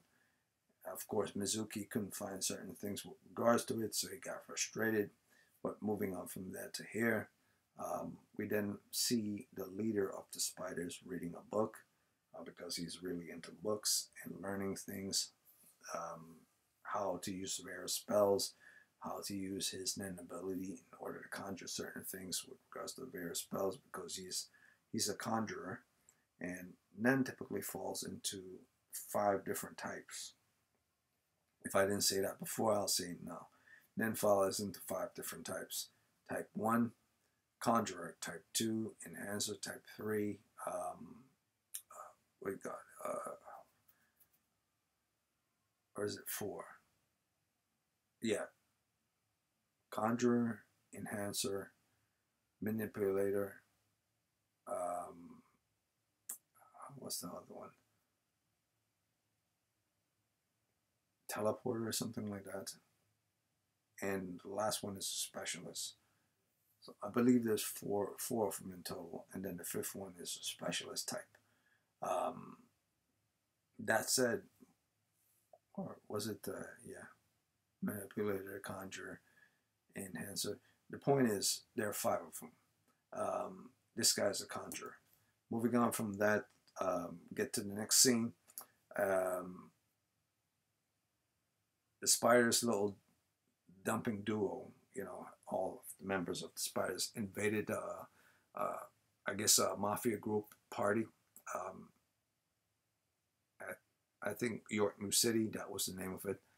Invaded their little charade, their little party, um, killed off the mafia people, took all their treasure because the spiders are thieves. That's what they do. And in the end, um, Uvo Uvogin, one of the spiders, that's the name of one of the spiders. This guy here, this hairy guy, is captured by Kurapika. And Kurapika happens to be a conjurer. He conjure he could conjure metal, or in this case, he could conjure chains from his hands um, to grab one and chain his opponents down and subdue their nen from them using nen or from them moving whatsoever.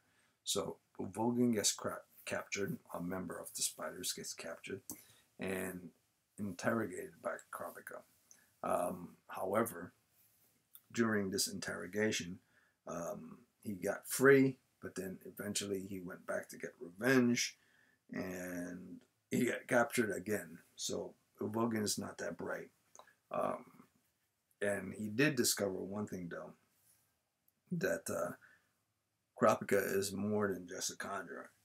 Kurapika is a specialist. And a specialist is basically someone um, who's able to use all different Nen types.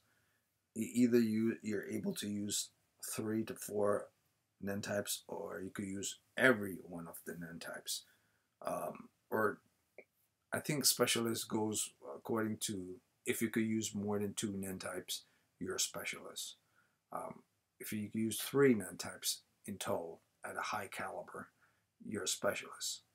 Um, but if you could use all Nen types, you're also a specialist. So I, I believe in order for you not to be a specialist, you can only use a maximum of two Nen types and maybe a portion of a third Nen type.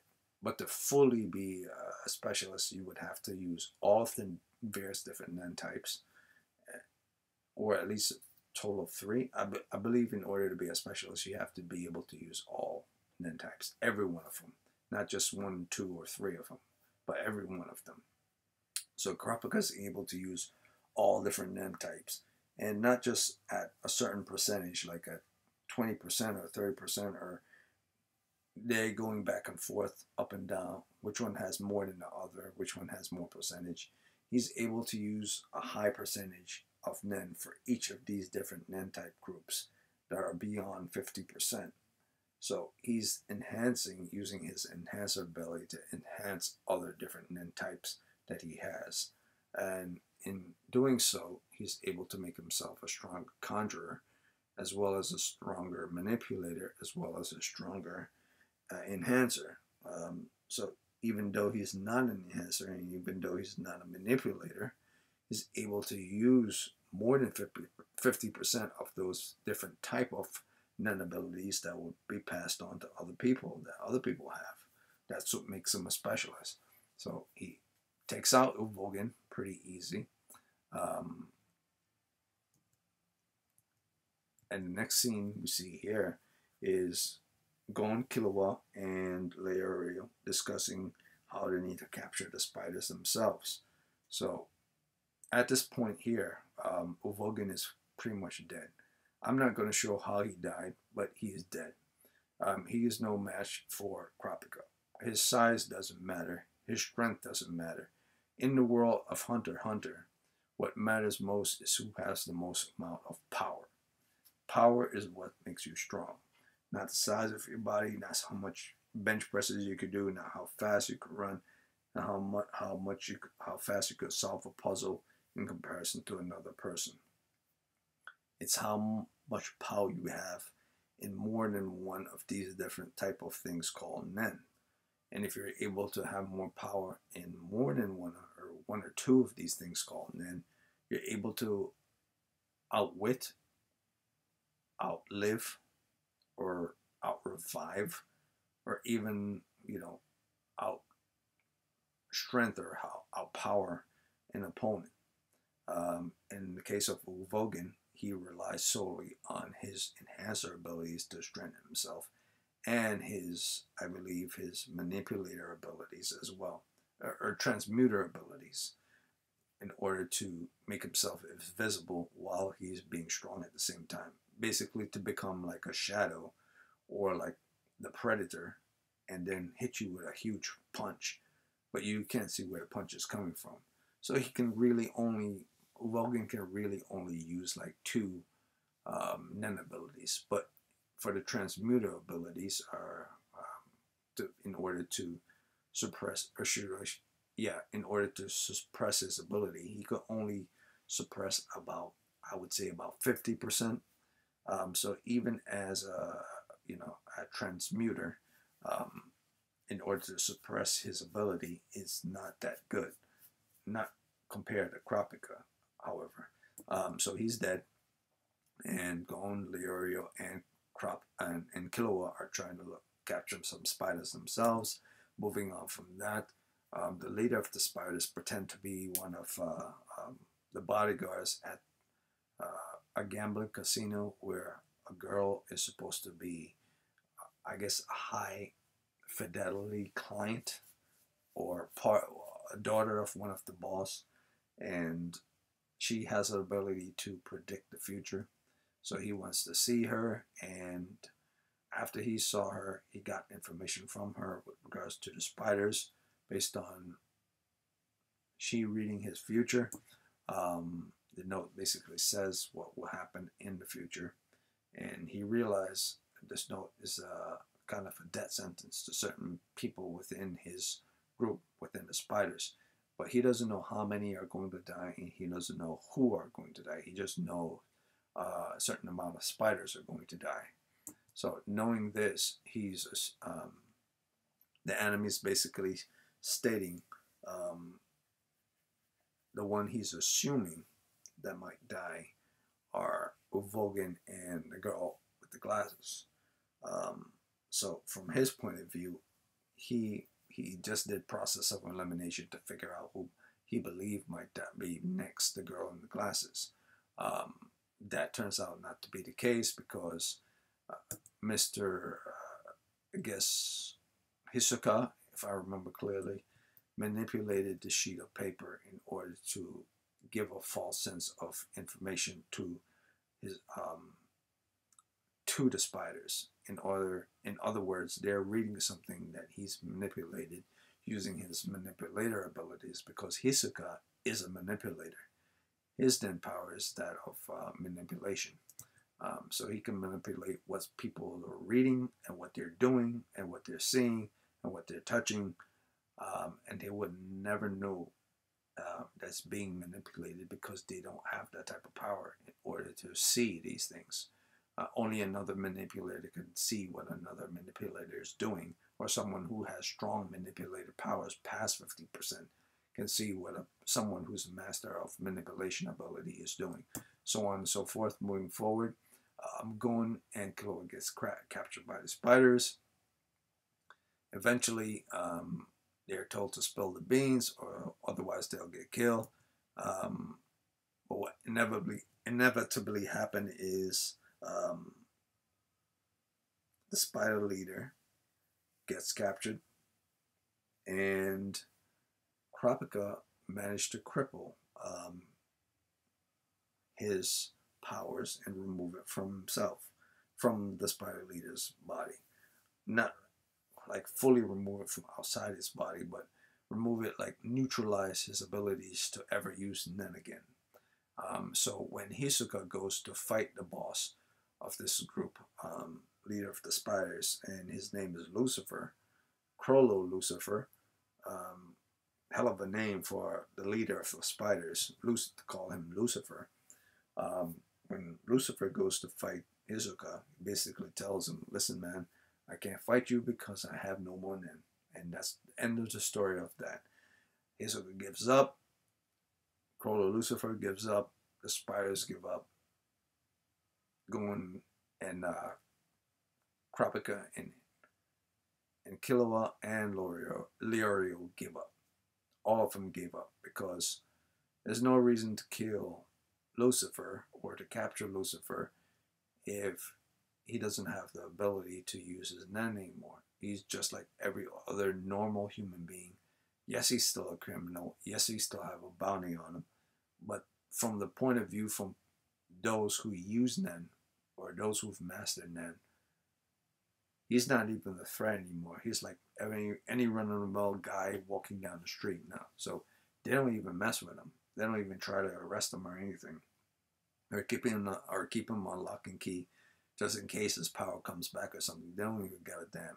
So apparently that's a, a theme in Hunter Hunter. Like if you lost your Hunter powers and you can't use it anymore, no one even tries to you know put you in jail or anything like that.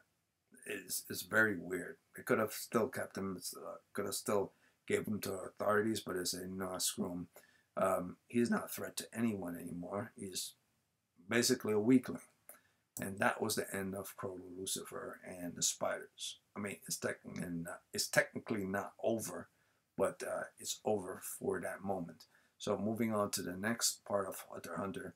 Um, and what I'll do is I'll skip past some of these. Um, the Greed Island, um, Gon fought against the boss of the Greed Island. As we're seeing here, this is the boss of the Greed Island. Greed Island arc was long and should not have been that long and should not have been that painstaking. Um, but Gon in the end fought off, beat the boss of the Greed Island, and the only thing to come out of Greed Island, I would say that was very interesting, were one or two things that were vastly interesting to me. One was a character called Bisky, and Bisky is a woman disguising herself as a girl. And what made Bisky so different from any other character within Hunter Hunter, she could manipulate her body to be extended to a certain amount that she turns into a giant-sized Hercules type. Muscles and all. Huge body. Huge neck, huge muscles, huge thighs, the whole works. She's basically Arnold Schwarzenegger on crack. And that's who Bisky was. Um, and then she reversed back into this tiny little teeny girl as to disguise himself, or to disguise herself from everyone else so they wouldn't know that she was this powerful. Obviously, to non users, they could tell that she has a certain amount of powers, but how much they didn't know. Uh, the second part of the Greed Island that I thought, found that was fascinating was the use of um, the cars in order to revive people. Um, Angel's Breath, I believe it was called, how it could simply bring someone back from the dead. And I believe that was going to be a major factor coming into later arcs throughout the uh, throughout the manga, I believe. Uh, but turns out that wasn't the case.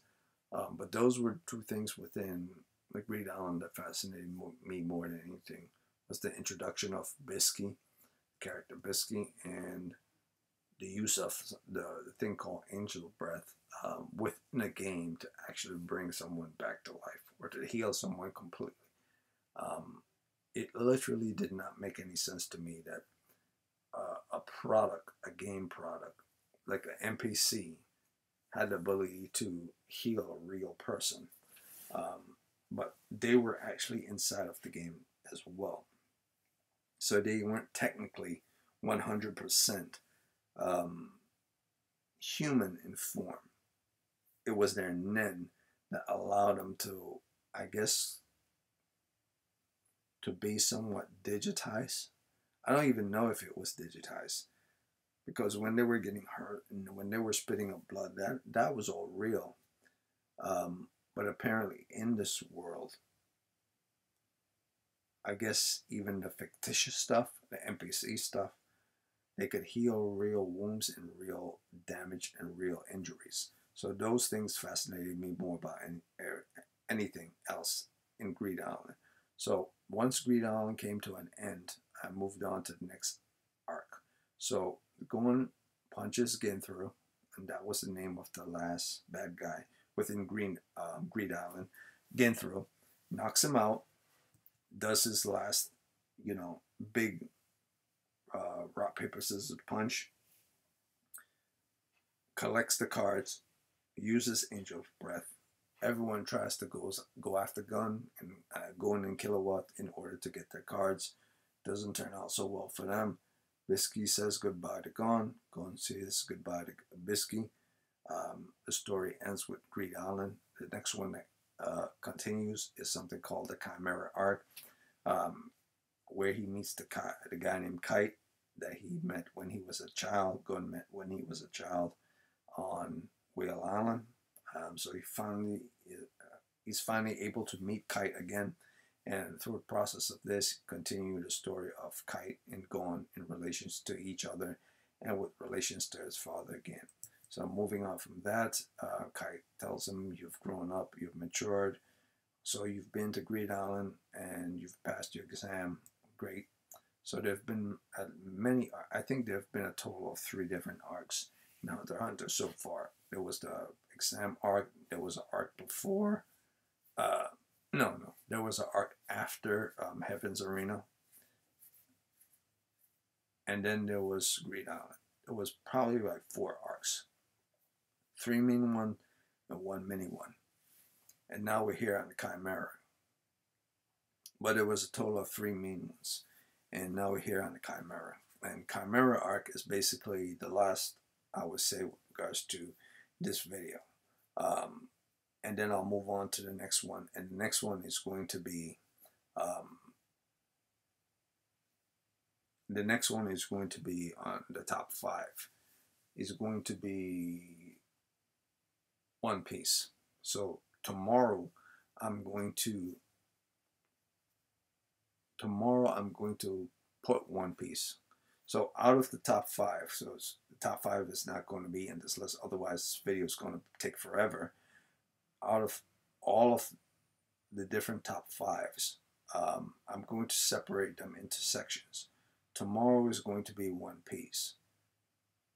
And it's going to be a different anime. Or it's just going to be One Piece. And no, it's going to be One Piece and it's going to be a different enemy. And the day after tomorrow, which is going to be Monday, is going to be the final two enemies. So today is purely going to be the first enemy on the top five of many enemies for um, August to July, um, August to September 2023, and that's Hunter Hunter. So moving on from that, go to the Chimera arc, Kite, and the next scene here shows the queen sitting on her chair and about to give birth to the king. Um, but in order to do so, she requires sustenance. Sustenance means food. Animals, trees, leaves, human beings, um, you name it, she'll eat it. The Chimera arc was always strange to me because based on the different characters within the Chimera arc, um, they all look very strange. Obviously, the word Chimera is used, so they're all, all supposed to look strange. But the point of the Chimera arc when it comes to the strangeness is that some of them look bizarrely and when I meant bizarrely ridiculous, some of them look very ridiculous. That they thought of, it felt like the writer and director wanted to make the most ridiculous looking characters that you could possibly think of. However, this is not a video about judging things until I get towards the end of all the top five animes of all time. So, moving on from that, um, we see the queen talking to her advisor. Her advisor talk back to the queen. Um, he says, You need more food. He advised um, the minions to get more food, uh, or servants um, to the queen to get more food. Some of them follow the queen, some of them don't. There are actually certain people who want to go their own way and don't fall in the queen's ways, while there are those who are loyal to the queen and will do exactly what she says until the day they die. Um, amongst these people who are trying to um, do their own thing, but at the same time be loyal to the queen, is this guy right here, one of the chimera ants. And the chimera ants are very weird. I mean, they're basically amalgamations of of different species, but they're all connected to one an insect in some shape and form.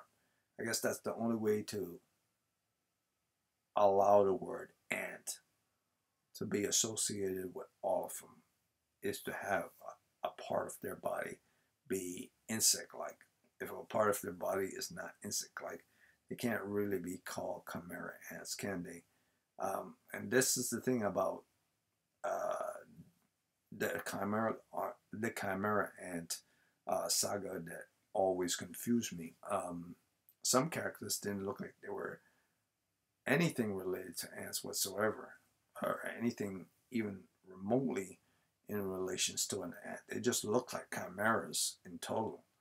Like they look like chimeras in total, but the word ant does not fix towards their existence. Um, if you were thinking uh, ant that's a chimera, uh, an aspect of that character, no matter what that character is, would have to be somewhat associated with ant. It can't just be that the queen looks like an ant or there are people in the army who are ants and there are certain people who are loyal to the chimeras ants that aren't ant because if that's the truth and that's what's going on within the ver- the armies of the chimera and these individuals these different chimeras aren't are different type of breeds of chimeras that aren't ant like they're a chimera of a different species than you know anthropods so yes chimeras exist but they're not all ant in existence i guess you could say they're all chimera types. I guess you could say that chimera mammals or chimera ants, as officially are, and chimera amphibians, as long as the word chimera is used, that they can all be associated with each other uh, or be in allegiance with each other if they're chimeras. That's the main glue that keep them together. So that's that's what I'm getting at here, or what I'm I am assuming that that's what the link between the word chimera and, and them all looking weird means. So that said, moving forward, we see various different chimera ants and various different form chimera ants. Some look like lions, some look like little girls. It's very weird. Some look like rabbits with bodies of men, but but, but hands that of birds, and wearing freaking bikini underwear. It's it's a bizarrety. Um, chimera to the sense that even their clothes is chimera. Um, and moving on forward from that, we then see the character Bisky as the chimera ant saga goes on. Bisky starts to tell Gon about the chimera ants and others about the chimera ants and how they have to get stronger. Same as what Kite told them. Um, so Bisky wants them to be trained again by various different people. This guy um, called Knuckle is one of the guys that are going to train Gon and Killua, and he's the real die-hard type, and he likes fighting and he likes brawl, and he has a vast amount of power. However, he also has a big mouth as well, so sometimes Gon and Killua get pissed off at him. Um, but they remember the teaching of Bisky's. And this person right here is Bisky. Um, this is Bisky's true form. This is how Bisky really looks physically. She look, she looks like a brawny, big brawny woman.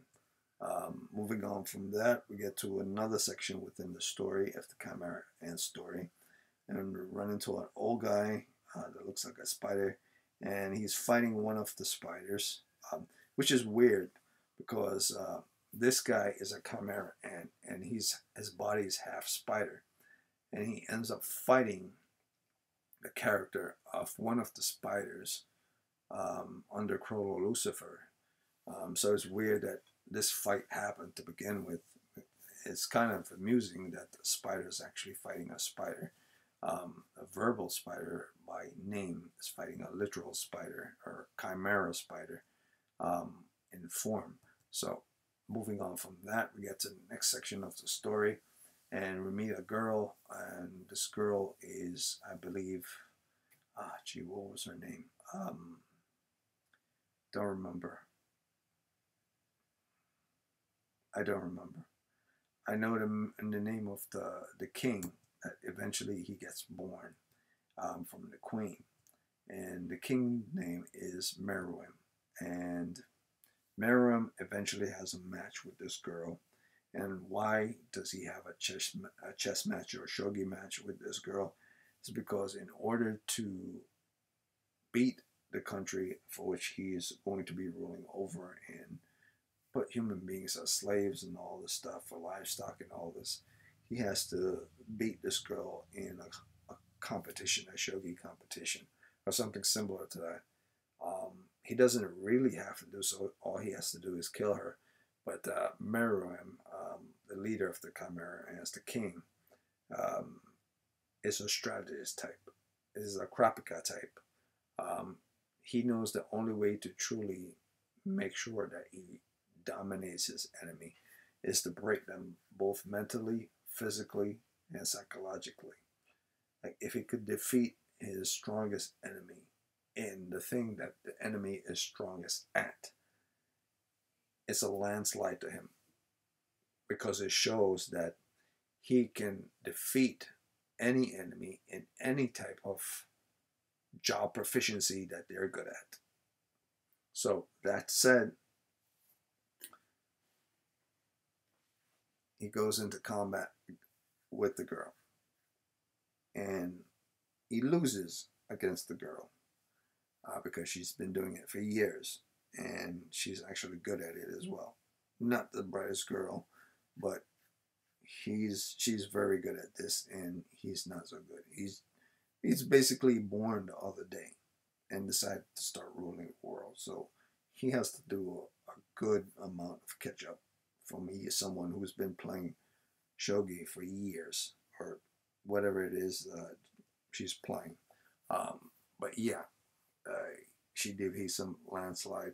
Um, he says, "Go away and come back.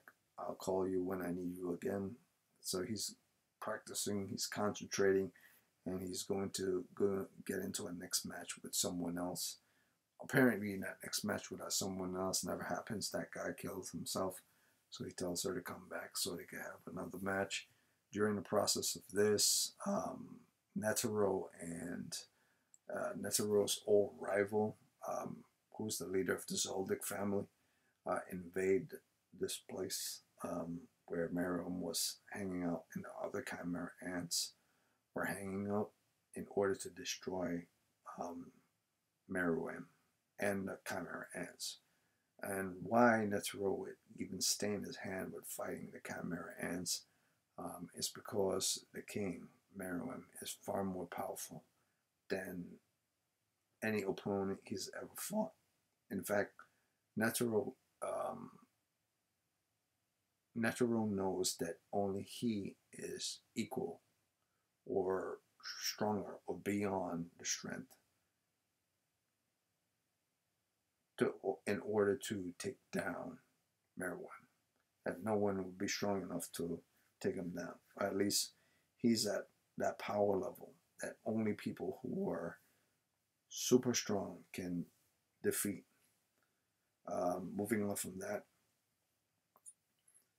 um, Netero then says, um, I have no interest in fighting underlings to basically Meruem's underlings, his personal bodyguards, and even his Meruem's personal bodyguards, his the personal, the strongest Chimera ants next to the king, are nothing to Netero. He tell them to go away. Um, and then we got a nice little backstory of um, Netero, and it shows that Netero was actually a martial artist um, when he was very young, which is obvious. The strange part about it is that he was practicing in the snow during the winter season, and he kept practicing in the snow, and the spring season, and he kept practicing in the, in the snow um, in the summer season, and he kept practicing in the snow um, all the way to the next season. And when I meant the next season, winter passed, or should I say, winter came again. And then after that, it went back into spring again. So we're here again. Um, a full cycle pass. More than a year has passed. In fact, I believe in Hunter Hunter, it basically says a full two years, Netero was in the forest, in the open plain, practicing and training for full two years. No bathroom breaks. Only thing he did was sleep. He didn't eat anything. At least it's assumed that he never ate anything. He just used his um, nen abilities, his ki, in order to give him energy so he could do his activities day to day. So he never have to be famished. He never have to be hungry about eating. Never have to think about eating or think about anything else or even thinking about going to a restroom because every part of his body and everything in his body was an essential component necessary for giving him more energy. So his nen basically kept him alive for a full year of pure energy without him ever needing to do anything or eat anything. About the most he had to do was go to sleep. That's all. And eventually he got to a level of strength that's so powerful that he was able to um, defeat every martial arts school within Japan. Like everyone. He went to every one of them, beat every one of them easily, easily beat them. Um, after that period, we then transitioned from the past into more current events. And this image represents the culmination of decades upon decades of Netero's power. that each decade that passes, he becomes more powerful and more powerful. So here are nothing but little flashes of light coming down on the earth. And each of those little flashes of light coming down from the earth are sprang through Netero's Nen. And each of those little lights coming down on this little location here um, onto the earth are basically energy of pure destruction. Uh, you could basically call them all mini meteors. Basically, each one of them represents mini meteors, and there are probably over a hundred, over a hundred of these different little mini meteor types that are crashing towards Earth. And these aren't just regular meteor types; these are pure, pure energy, um, pure enhancer. I believe enhancer energy, but pure energy that's coming down towards Earth like meteors. Um, and yeah, um, there's literally hundreds of them, hundreds. And Netero did it all within just a few seconds. Within just a few seconds of using his hands and different hand gestures, he did a whole rain of nothing but pure energy, of hundreds of energy with, eh, within just a few seconds.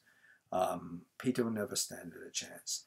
And Pitou is the character we see falling here um, with the cat tail and she's basically uh, a chimera ant. And she's not a good chimera ant, she's a very bad chimera ant.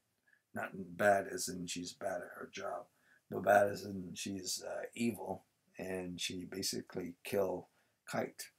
And in the end, uh, revenge will be sweet revenge for Gon against uh, Pitou.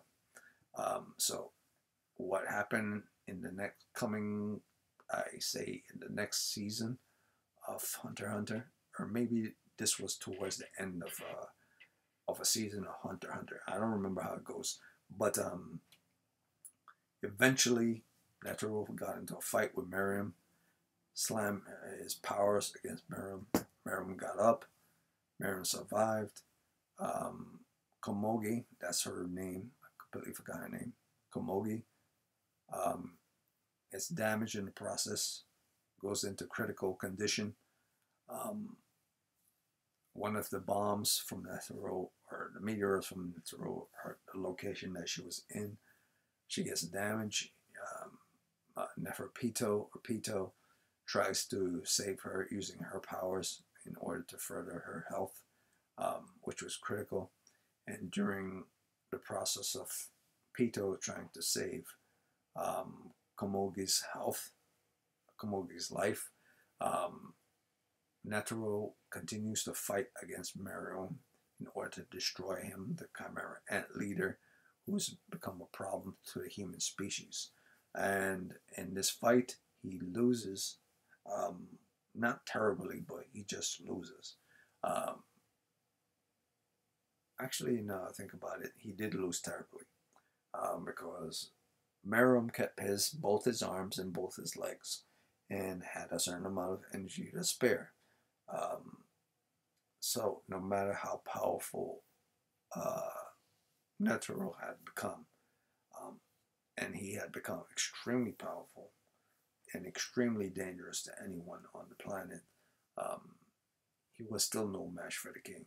Evolution through thousands of years upon thousands of years of the and lineage had passed through um, the king and evolution. Basically, that's what Meruem says. It's evolution. Evolution from one step to the next step to the next step. And eventually he loses, gets one leg off, gets one arm off, moving process to the next step.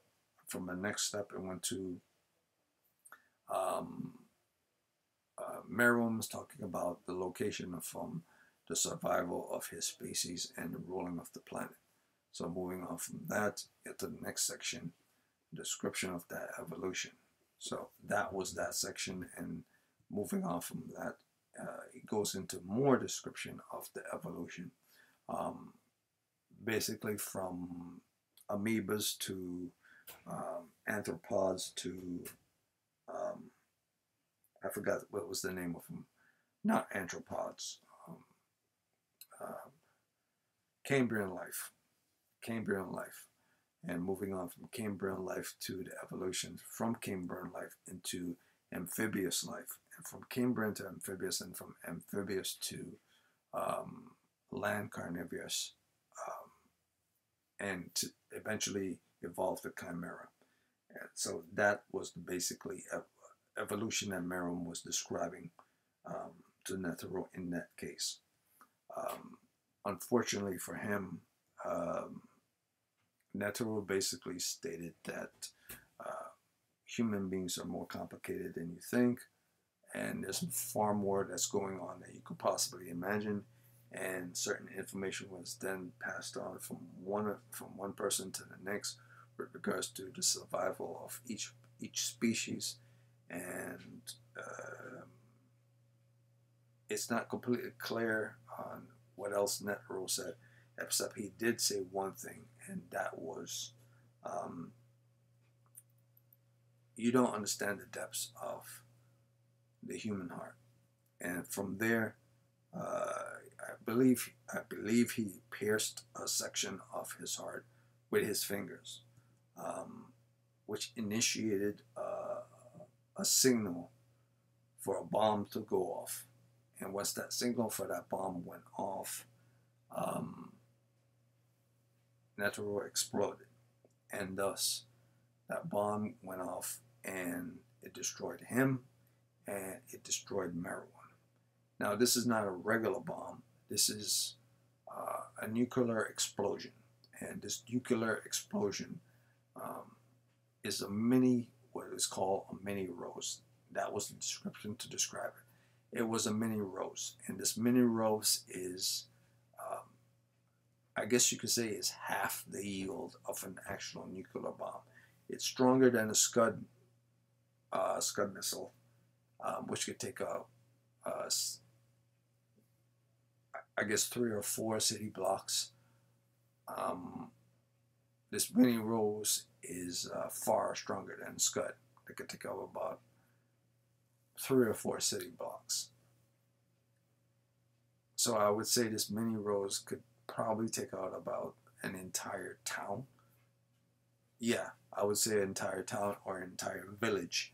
Um, in order to get clear of this, you would have to be thousands of miles away from the blast radius. So yeah, I would say if you were to drop this, the mini rose on a city, it would definitely take out an entire city.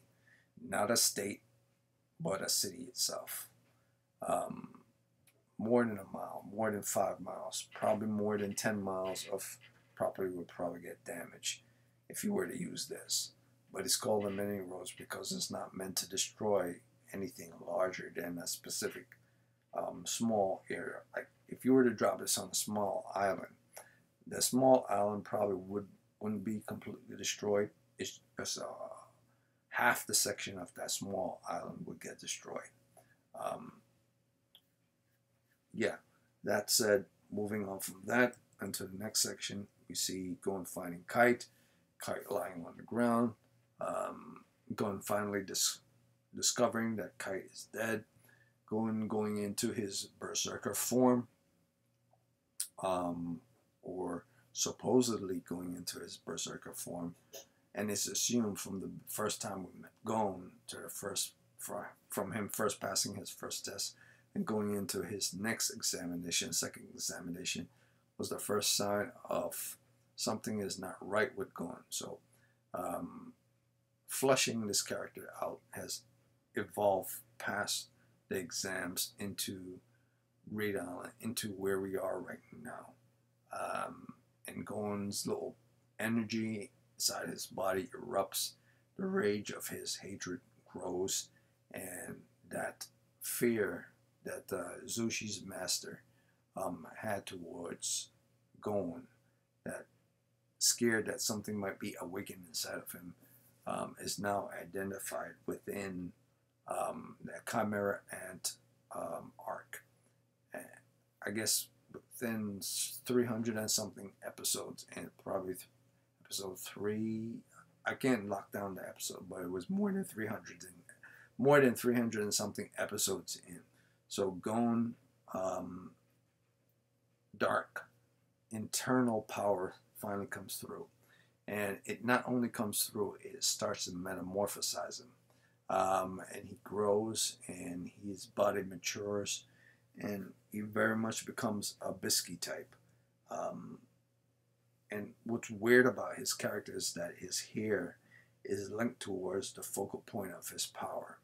Um, when he's just a kid, his hair just looks like spiky hair. But the power seems to come directly through his hair alone into his body. Or his hair is what's connected towards where the power is coming from. Because the anime basically shows that his hair goes directly up into the sky and stays up into the sky. And there's no endpoint for where it begins or where it actually ends because the anime does not show um, if it ends at all. It just goes upwards. Moving on from that, the next scene we see is after um, Gon wins in a fight against uh, Pitou, after realizing that Pitou was the one that killed Kite, uh, Gon went and killed Pitou for killing Kite. Um, he didn't realize that he does have this type of darkness in him he could straight up kill someone. So after killing Pitou, uh, and realizing he's used a vast amount of power in order to do so, because normal Kid Gon couldn't have defeated Pitou in in his wildest dreams. He couldn't do it. I mean, he would be able to probably put up a fight, but he wouldn't be able to defeat Pitou any more than he's able to defeat Anzo. Um, so it would have been a landslide in Pitou's favor. So the price that he had to pay in order to obliterate Pitou and for Pitou to be a joke to him is a high price. And after using said powers and stop using said powers, um, he started to feel the effects of this. And eventually he passes out. His body shrivels up into a prune. Um, but not before taking out Pitou and basically nuking the site um, by using his uh, rock, paper, scissors technique. Um, so that said, that happens. And then the next scene that happens um, is not really a scene, but a couple of episodes thereafter is seeing the world government of the human world government decided in order to defeat the Chimera ants, they can't physically beat them. So the only way to actually beat the Chimera ants, since they can't physically beat them, is to poison them. Not the, the type of poison that you would poison usual suffocation or resistance against poison. Um, that type of poison. No, this type of poison is more like disease, not a poison that you could hold your breath against or you could not put into your body and it won't harm you. This is more like disease that as long as you can breathe and you can breathe in air, then you will eventually die because you could breathe in air. Because the, the disease itself is harmless against human beings. If human beings breathe in their breath and exhale, it wouldn't do anything to them because the damn disease is specifically attached towards things that are of Chimera ant bloodline and only of Chimera ant bloodline. If you are a Chimera ant, you're screwed because the thing specifically attacks your blood. And there is no cure for it because it's not something that you can resist. It's more, it's like very much like AIDS or cancer, but it's something that's beyond the, the normal stages. It's not stage two cancer, it's stage four cancer. You start to die immediately. Um, the effects are tripled um, over time. And since Meruem is strong enough to resist it compared to his other followers and his personal bodyguards, he is the last person to go before he's completely dead um, from this disease. So the world government managed to win against the Chimera ants, um, not in a landslide, but simply in um, a tactic that the ants didn't think that they were able to do and do successfully.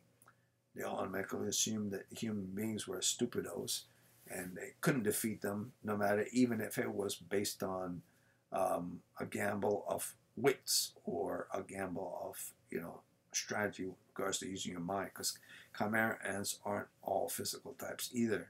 There are, very, there are some scientists that are actually chimera ant types. Unfortunately for them, they couldn't think of a counteracting agent that they could create in time enough to fight against the disease, to cure the chimera ants from the disease. It's one of those type of disease that it only kills you within a few hours, not a few days, not a few months, only within a few hours. So if you're able to find out a cure for this, it would have to be a cure that you could find out within a few hours, not a day or two days or even a week would have to be something you find out within just a few hours. Um, that said, the king dies from disease, and moving on to the next form of the, the last arc that I will speak on, past the Chimera Ant, is, and the shortest one, before I end this video, because each upload of um, the five best enemies of 2023 of all times are all going to be cut into sections. This is the number one anime um, that's on my list section. The next two animes are going to be number two and three. So for this video, is purely about the entire season of Hunter Hunter. Um, before I went into more readapted um, 2017 or rechanneled version or redone version, the original Hunter Hunter um, story. And if you're interested in this Hunter Hunter story, you could proceed forward. If not, you can skip and go to the next um, video that I will be uploading later on um, during the week with regards to the top five enemies. Um, this is just my number one. So this next and final arc is related to um, Killua's sister, um, Nanika. Um, or should I say Nanika is the entity that's in Alluka's body. And Alluka is Killua's sister. And Alluka is Killua's cute little sister. Um, and she has a monster inside of her. And this monster is said to have come from the grand uh, continent or the dark continent. And it's called a dark continent because all forms of dark creatures are there on the dark continent. And all forms of dark creatures aren't exactly dark creatures that are classified as creatures associated with things that you would normally identified logically. If uh, a person has a USB stuck inside of their head and it's not used as an antenna, it's simply used as, you know, um, a popcorn maker.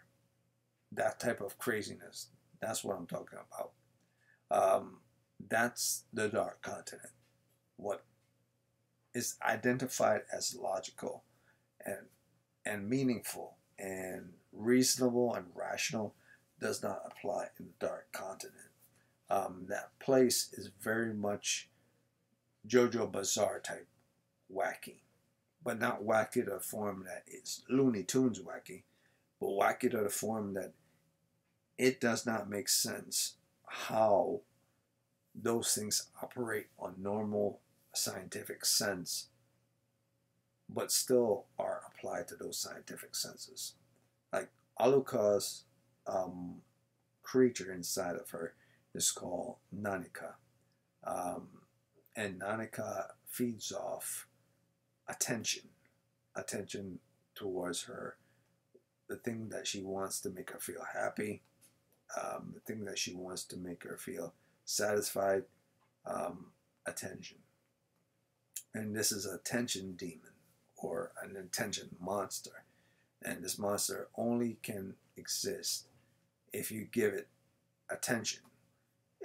You could basically call the thing that's within Alluka uh, a puppy. that wants attention all the time. And as long as you give it attention, it will give you back power in order to acquire said attention. Because that's the only thing it wants in order to feed on it so it could give you back what you want. It would give you what you want if you give it what it wants. Attention is what makes this thing powerful. The more attention you give to it, the more power you receive in return. It's very weird. And so Nanika um, basically takes over Alluka's body, and eventually Silva's, Killua's father, wants to kill this thing um, because it's very much a thing.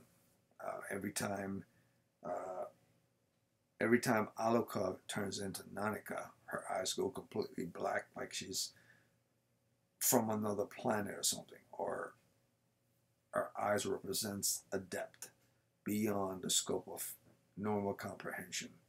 Um, that she could pull things from, that she could probably pull things from midair that wouldn't exist under any normal logical situation.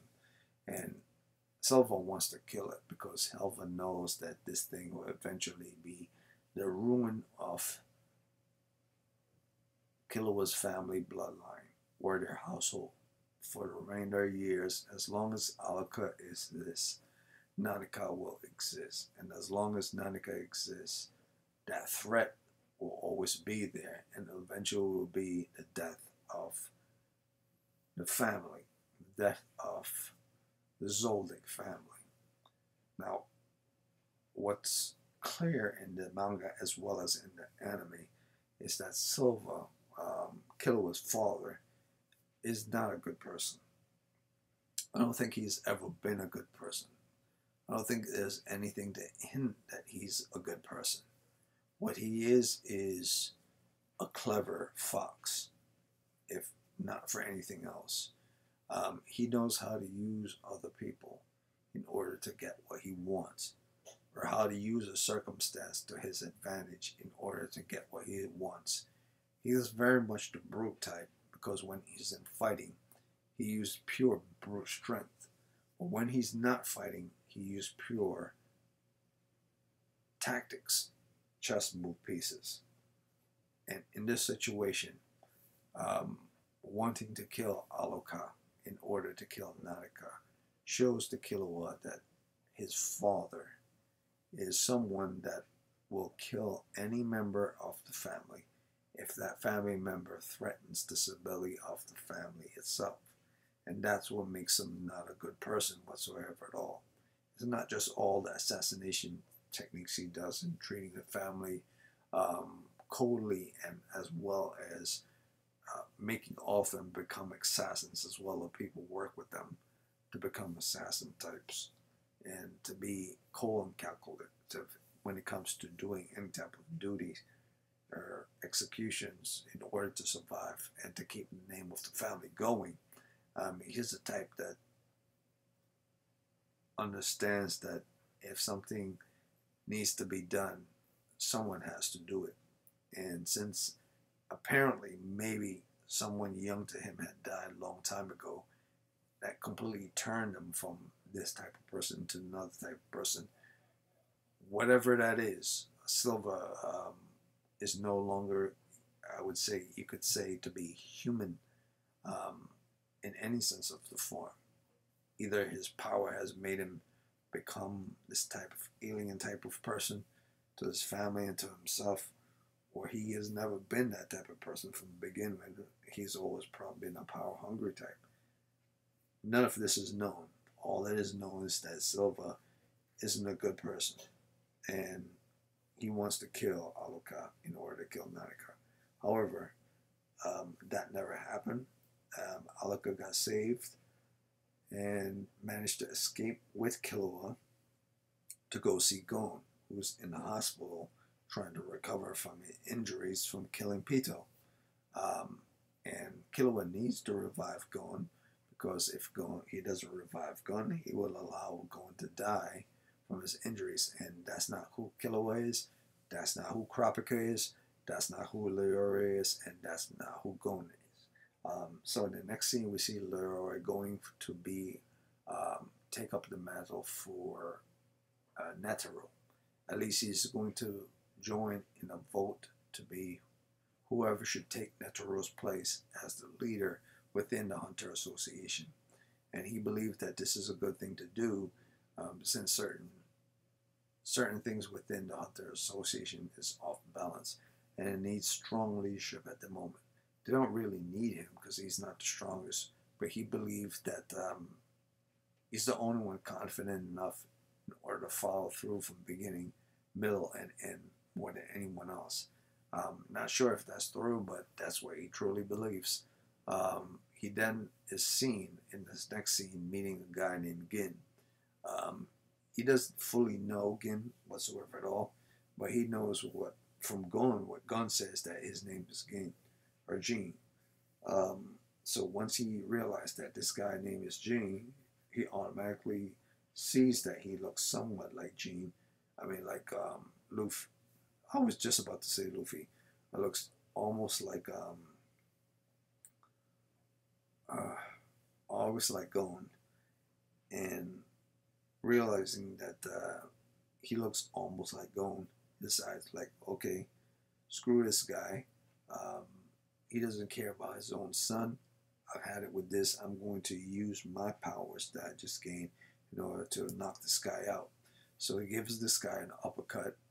He went flying, and eventually, towards the end of coming towards the end of the manga, we get to the point where Alluka um, sees Gon, and uh, Killua asks Alluka to go away so that Nanika could come forward in her body.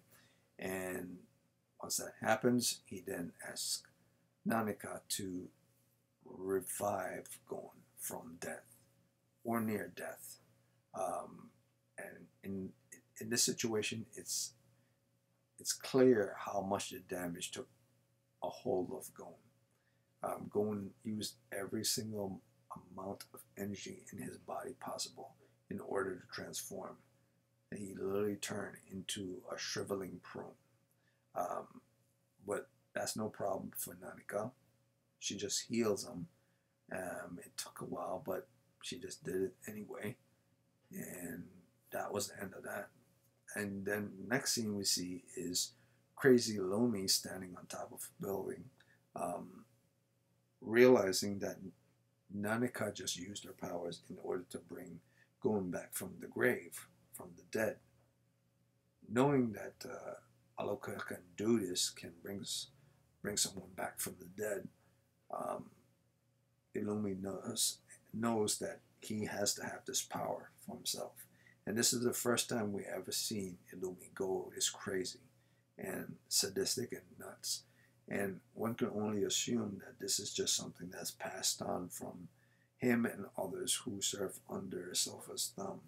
Um, that there might be something with regards to his past that's been fleshed out or emphasized that has not been emphasized before for the reason why he's so desperate in order to get the Dragon Balls, which is natural anyone would if they want to become strong and if they want to attain fame, fortune, everything. Um, but we don't know what his intentions truly are.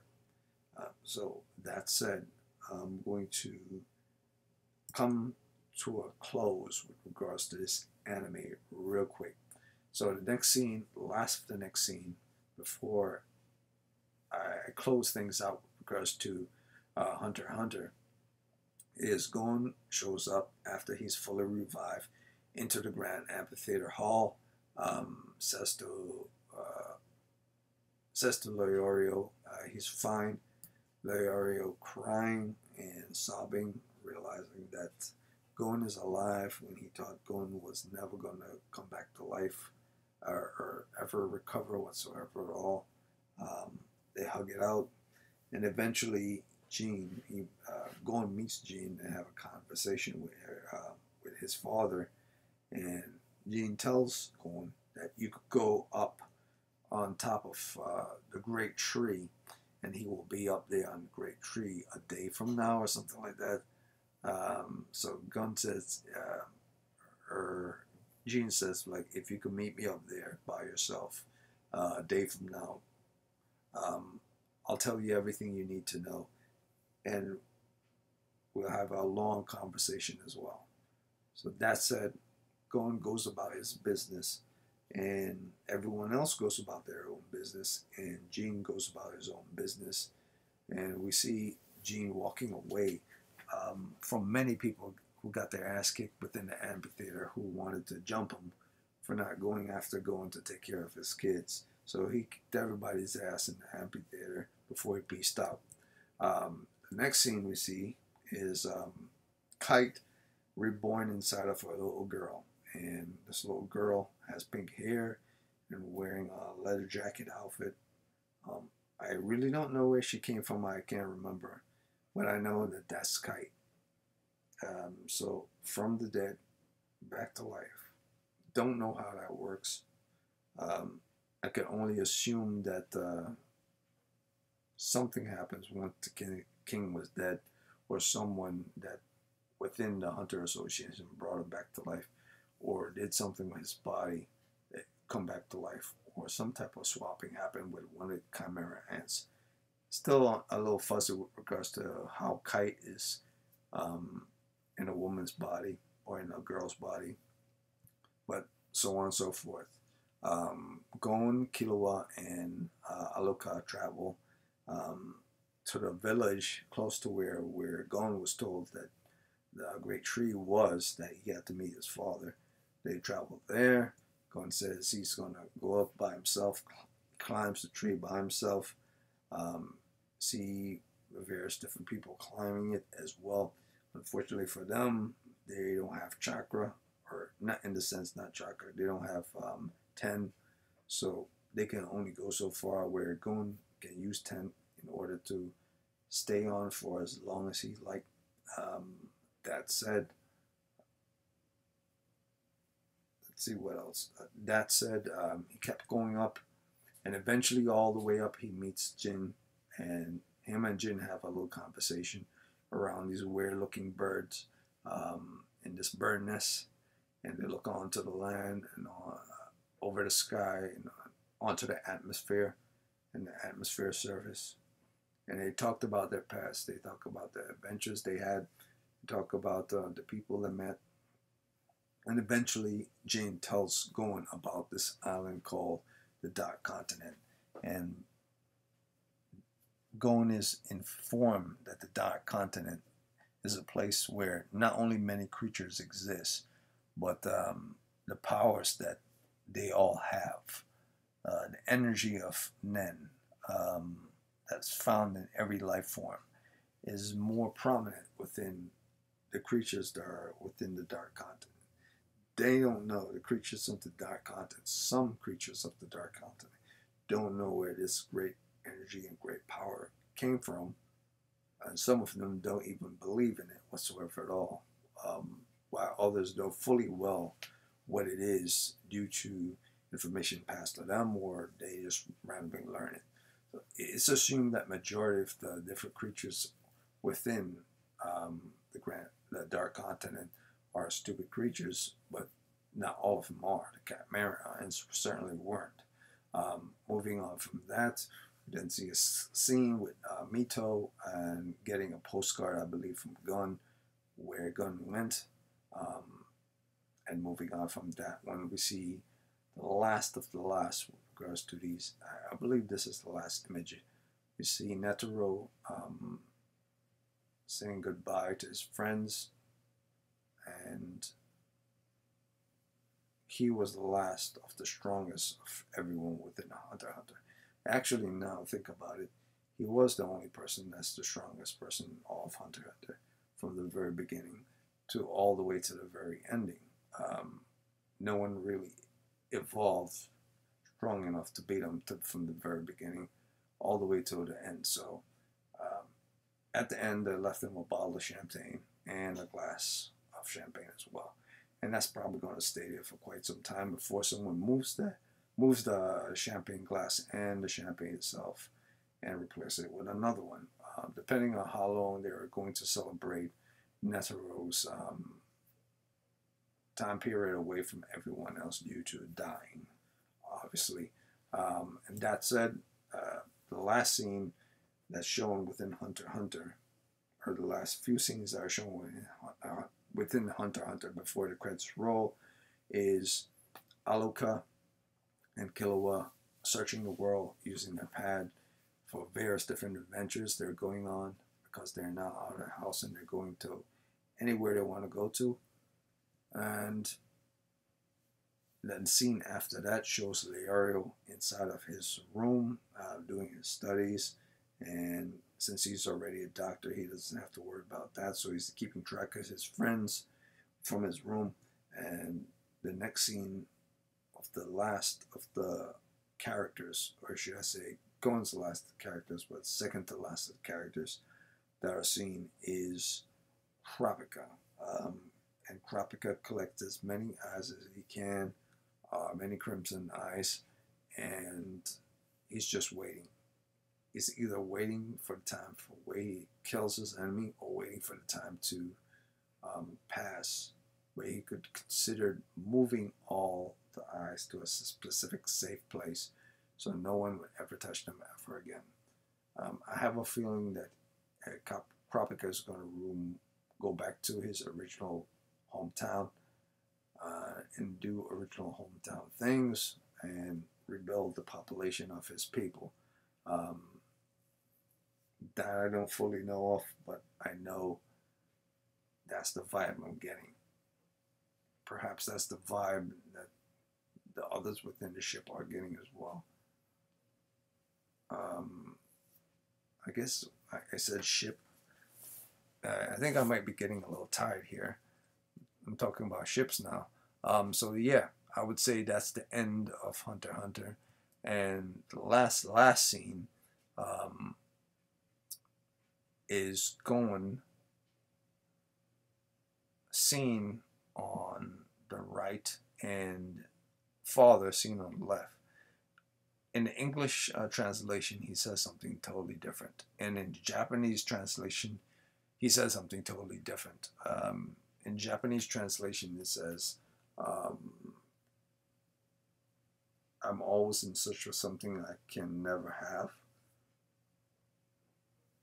Because the thing I've always wanted is, is something that's um, not in front of me, or something like that. Um, so it's never fully clear what that meant.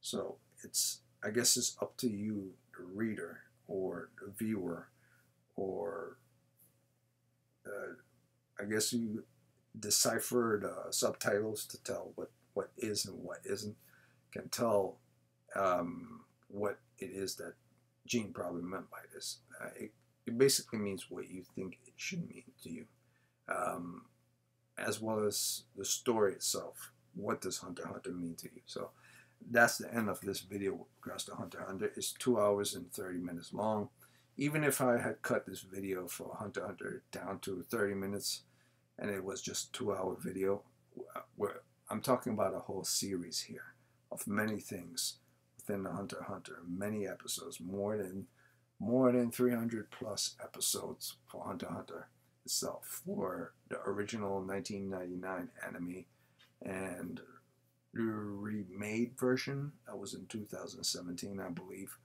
um, which follow the same map formula um, with some extra stuff added along the way. But um, yeah, anything that's a long-term anime will take hours to do. Yes, you can knock it out with just saying this happened here, this happened there, this happened there, this happened there, and that happened there, and get it done within just like 25 to 30 minutes. But I went over the entire series. And I'll do the same for the next one tomorrow, um, which will also be uploaded tomorrow, is One Piece. And One Piece is far longer than this, so the video of One Piece is probably going to be like three hours long. Um, but that's to be expected of something called the top five animes of uh, August and September of 2023. Um, but not the top five animes of August 20 and 23 that were released in August and September of 2023. I'm talking about the top five greatest anime of all time to watch in 2023 of August and September. Um, since August is gone, September. Um, yeah, so the first on this list was Hunter Hunter. Uh, it's my number one, and it's still today my number one. It's my go-to when I watch anything um, that I want to watch that's a little complicated, that doesn't have a lot of goofiness in it, and takes itself seriously, but at the same time doesn't take itself seriously. He knows when to pull away to remove the seriousness from it, and at the same time knows when to double down on what's serious in order to make things feel more intense and more um, cost effective and more price. You have to pay the price for these actions, cause and effects, causality. So that's it for this, and um, tomorrow will be the next video, and that one will be One Piece. Oh yes, the positives and the negatives. Almost forgot. This hardly have any negatives, um, but have many positive. But if I was to identify this as having negatives, I would say some stories were um, over exaggerated um, and could have been fleshed out a little or cut down a little so that other arcs could have existed to be much stronger. The Greed Island arc wasn't that good of an arc because it tried to be more than what it was. It was trying to be that foundation with those curvatures and those land masses and those buildings and all these different things that were developed to be uh, Greed Island. But it failed in that attempt because uh, I guess you could say the notion of playing a game, a card game, where the stakes is your life, is a hard sell when it comes to an anime about hunting. It's hard for people to identify the word hunting in the sense of using your mind or your body with the attachment towards a game about cards. So that was the problem with regards to Greed Island. How could you sell that type of story to your audience and have it be compelling enough to keep going for episode after episode after episode after episode without it getting boring? For the most, I believe the Greed Island arc should have been six episodes long. That's all. Nothing more. Maybe seven maybe a seven, but nothing longer than seven. Greed Island arc should have really been seven um, seven episodes most. And the second thing about um, Hunter Hunter that wasn't, I would say that wasn't good, um, was a Chimera Ant. Um, during the Chimera Ant saga, a lot of things started to become convoluted. There seemed to be repetitive episodes um, but they were fashioned on top of each other to seems like they were actually new, but they felt repetitive. And some of the episodes um, had pointless stories, um, extra fighting, and extra combat with useless enemies that didn't serve anything towards the overall story. So that's what I didn't like about the Chimera Ant story. Some stories weren't necessary and some characters were not necessary to be in the Chimera Ant saga. So just those two were just those two things were um, off for me, and that's all I got to say with regards to uh, my best anime of 2023, Hunter Hunter. Um, every time I watch it, it gets even better as as, as I go along. Um, I'm not going to put uh, Hisoka's whole perversity thing as part of one of those bad things for me because it's not something that he does constantly every single time. If it was something he did, did constantly every single time, it would have been a nuisance. It's something he does every now and again. I don't like it any more than I like. I, I, the same way I don't like um, vinegar the smell of vinegar. Um, I don't like the character whatsoever at all. Um, but I also know that the character is essential towards certain things. Uh, actually, that's untrue. I do like this character. I do like Hisoka. Um, it would be kind of stupid to not like Hisoka. I just don't like how they use perversity as a way to state that he he's this type of person. It's unnecessary. I'll be honest with you, whether he have it or not, it wouldn't have changed the story of Hisoka whatsoever at all. When I think of Hisoka and I think his, his um, you know, liking for boys and stuff, uh, I don't see that whatsoever at all. Even if I did see it, um, when all that nonsense goes away and he decides to get serious, um, it's fine. It works. Because whether you have something attached to a character or not attached to a character, it still work in the Hunter Hunter universe. You could have the guy being a prick in Hunter Hunter, and the next moment you could have the guy being a saint in Hunter Hunter, and it would still work because the writer writers of Hunter Hunter, showrunners of Hunter Hunter, and even the the artist of Hunter Hunter, especially the artist and the writer, knows how to they know how to use the character to its full potential, either going one way or going the other way. And that's something I've always liked regards to Hunter Hunter. And that's all I'm going to say with regards to Hunter Hunter. I don't want this to be a three hour long video. Um, those were my cons. Uh, my pros are everything that I didn't say as my cons, and that's why it's my number one. I basically only have like three problems with it. I really only have two problems with it. But if I really want to put in the whole Hisoka thing in there, um, it would be three. And for any anything to have two's company, three is a crowd, three being the most you should ever have, with an issue towards anything, like then it's a perfect enemy. Like if it had hit four or five issues that I found that were annoying as well, then it would have been in the second slot for second best enemy of all time. But since it only has like three issues for me, pacing wasn't one of the problems. It only re- it really only had like three issues for me whatsoever at all. Um, you know, sometimes the over sexualized suggestive things. Uh, we could say which is also associated with Hisoka or with the Chimera Ants, you know, and the whole Greed Island and the whole Chimera Ant saga technically three things throughout the entire Hunter Hunter universe. That's it. That's all. Nothing else. Other enemies, other enemies will be lucky if they could only find three things and three things only.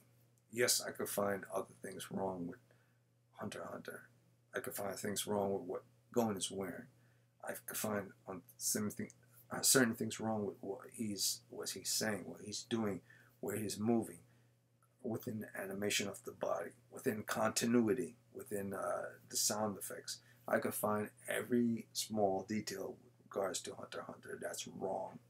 Um, but this is not a video about that. This is a video about the major issues, the major pros, the major cons, and whether Hunter Hunter is good enough to watch or not, or if you something you could skip over.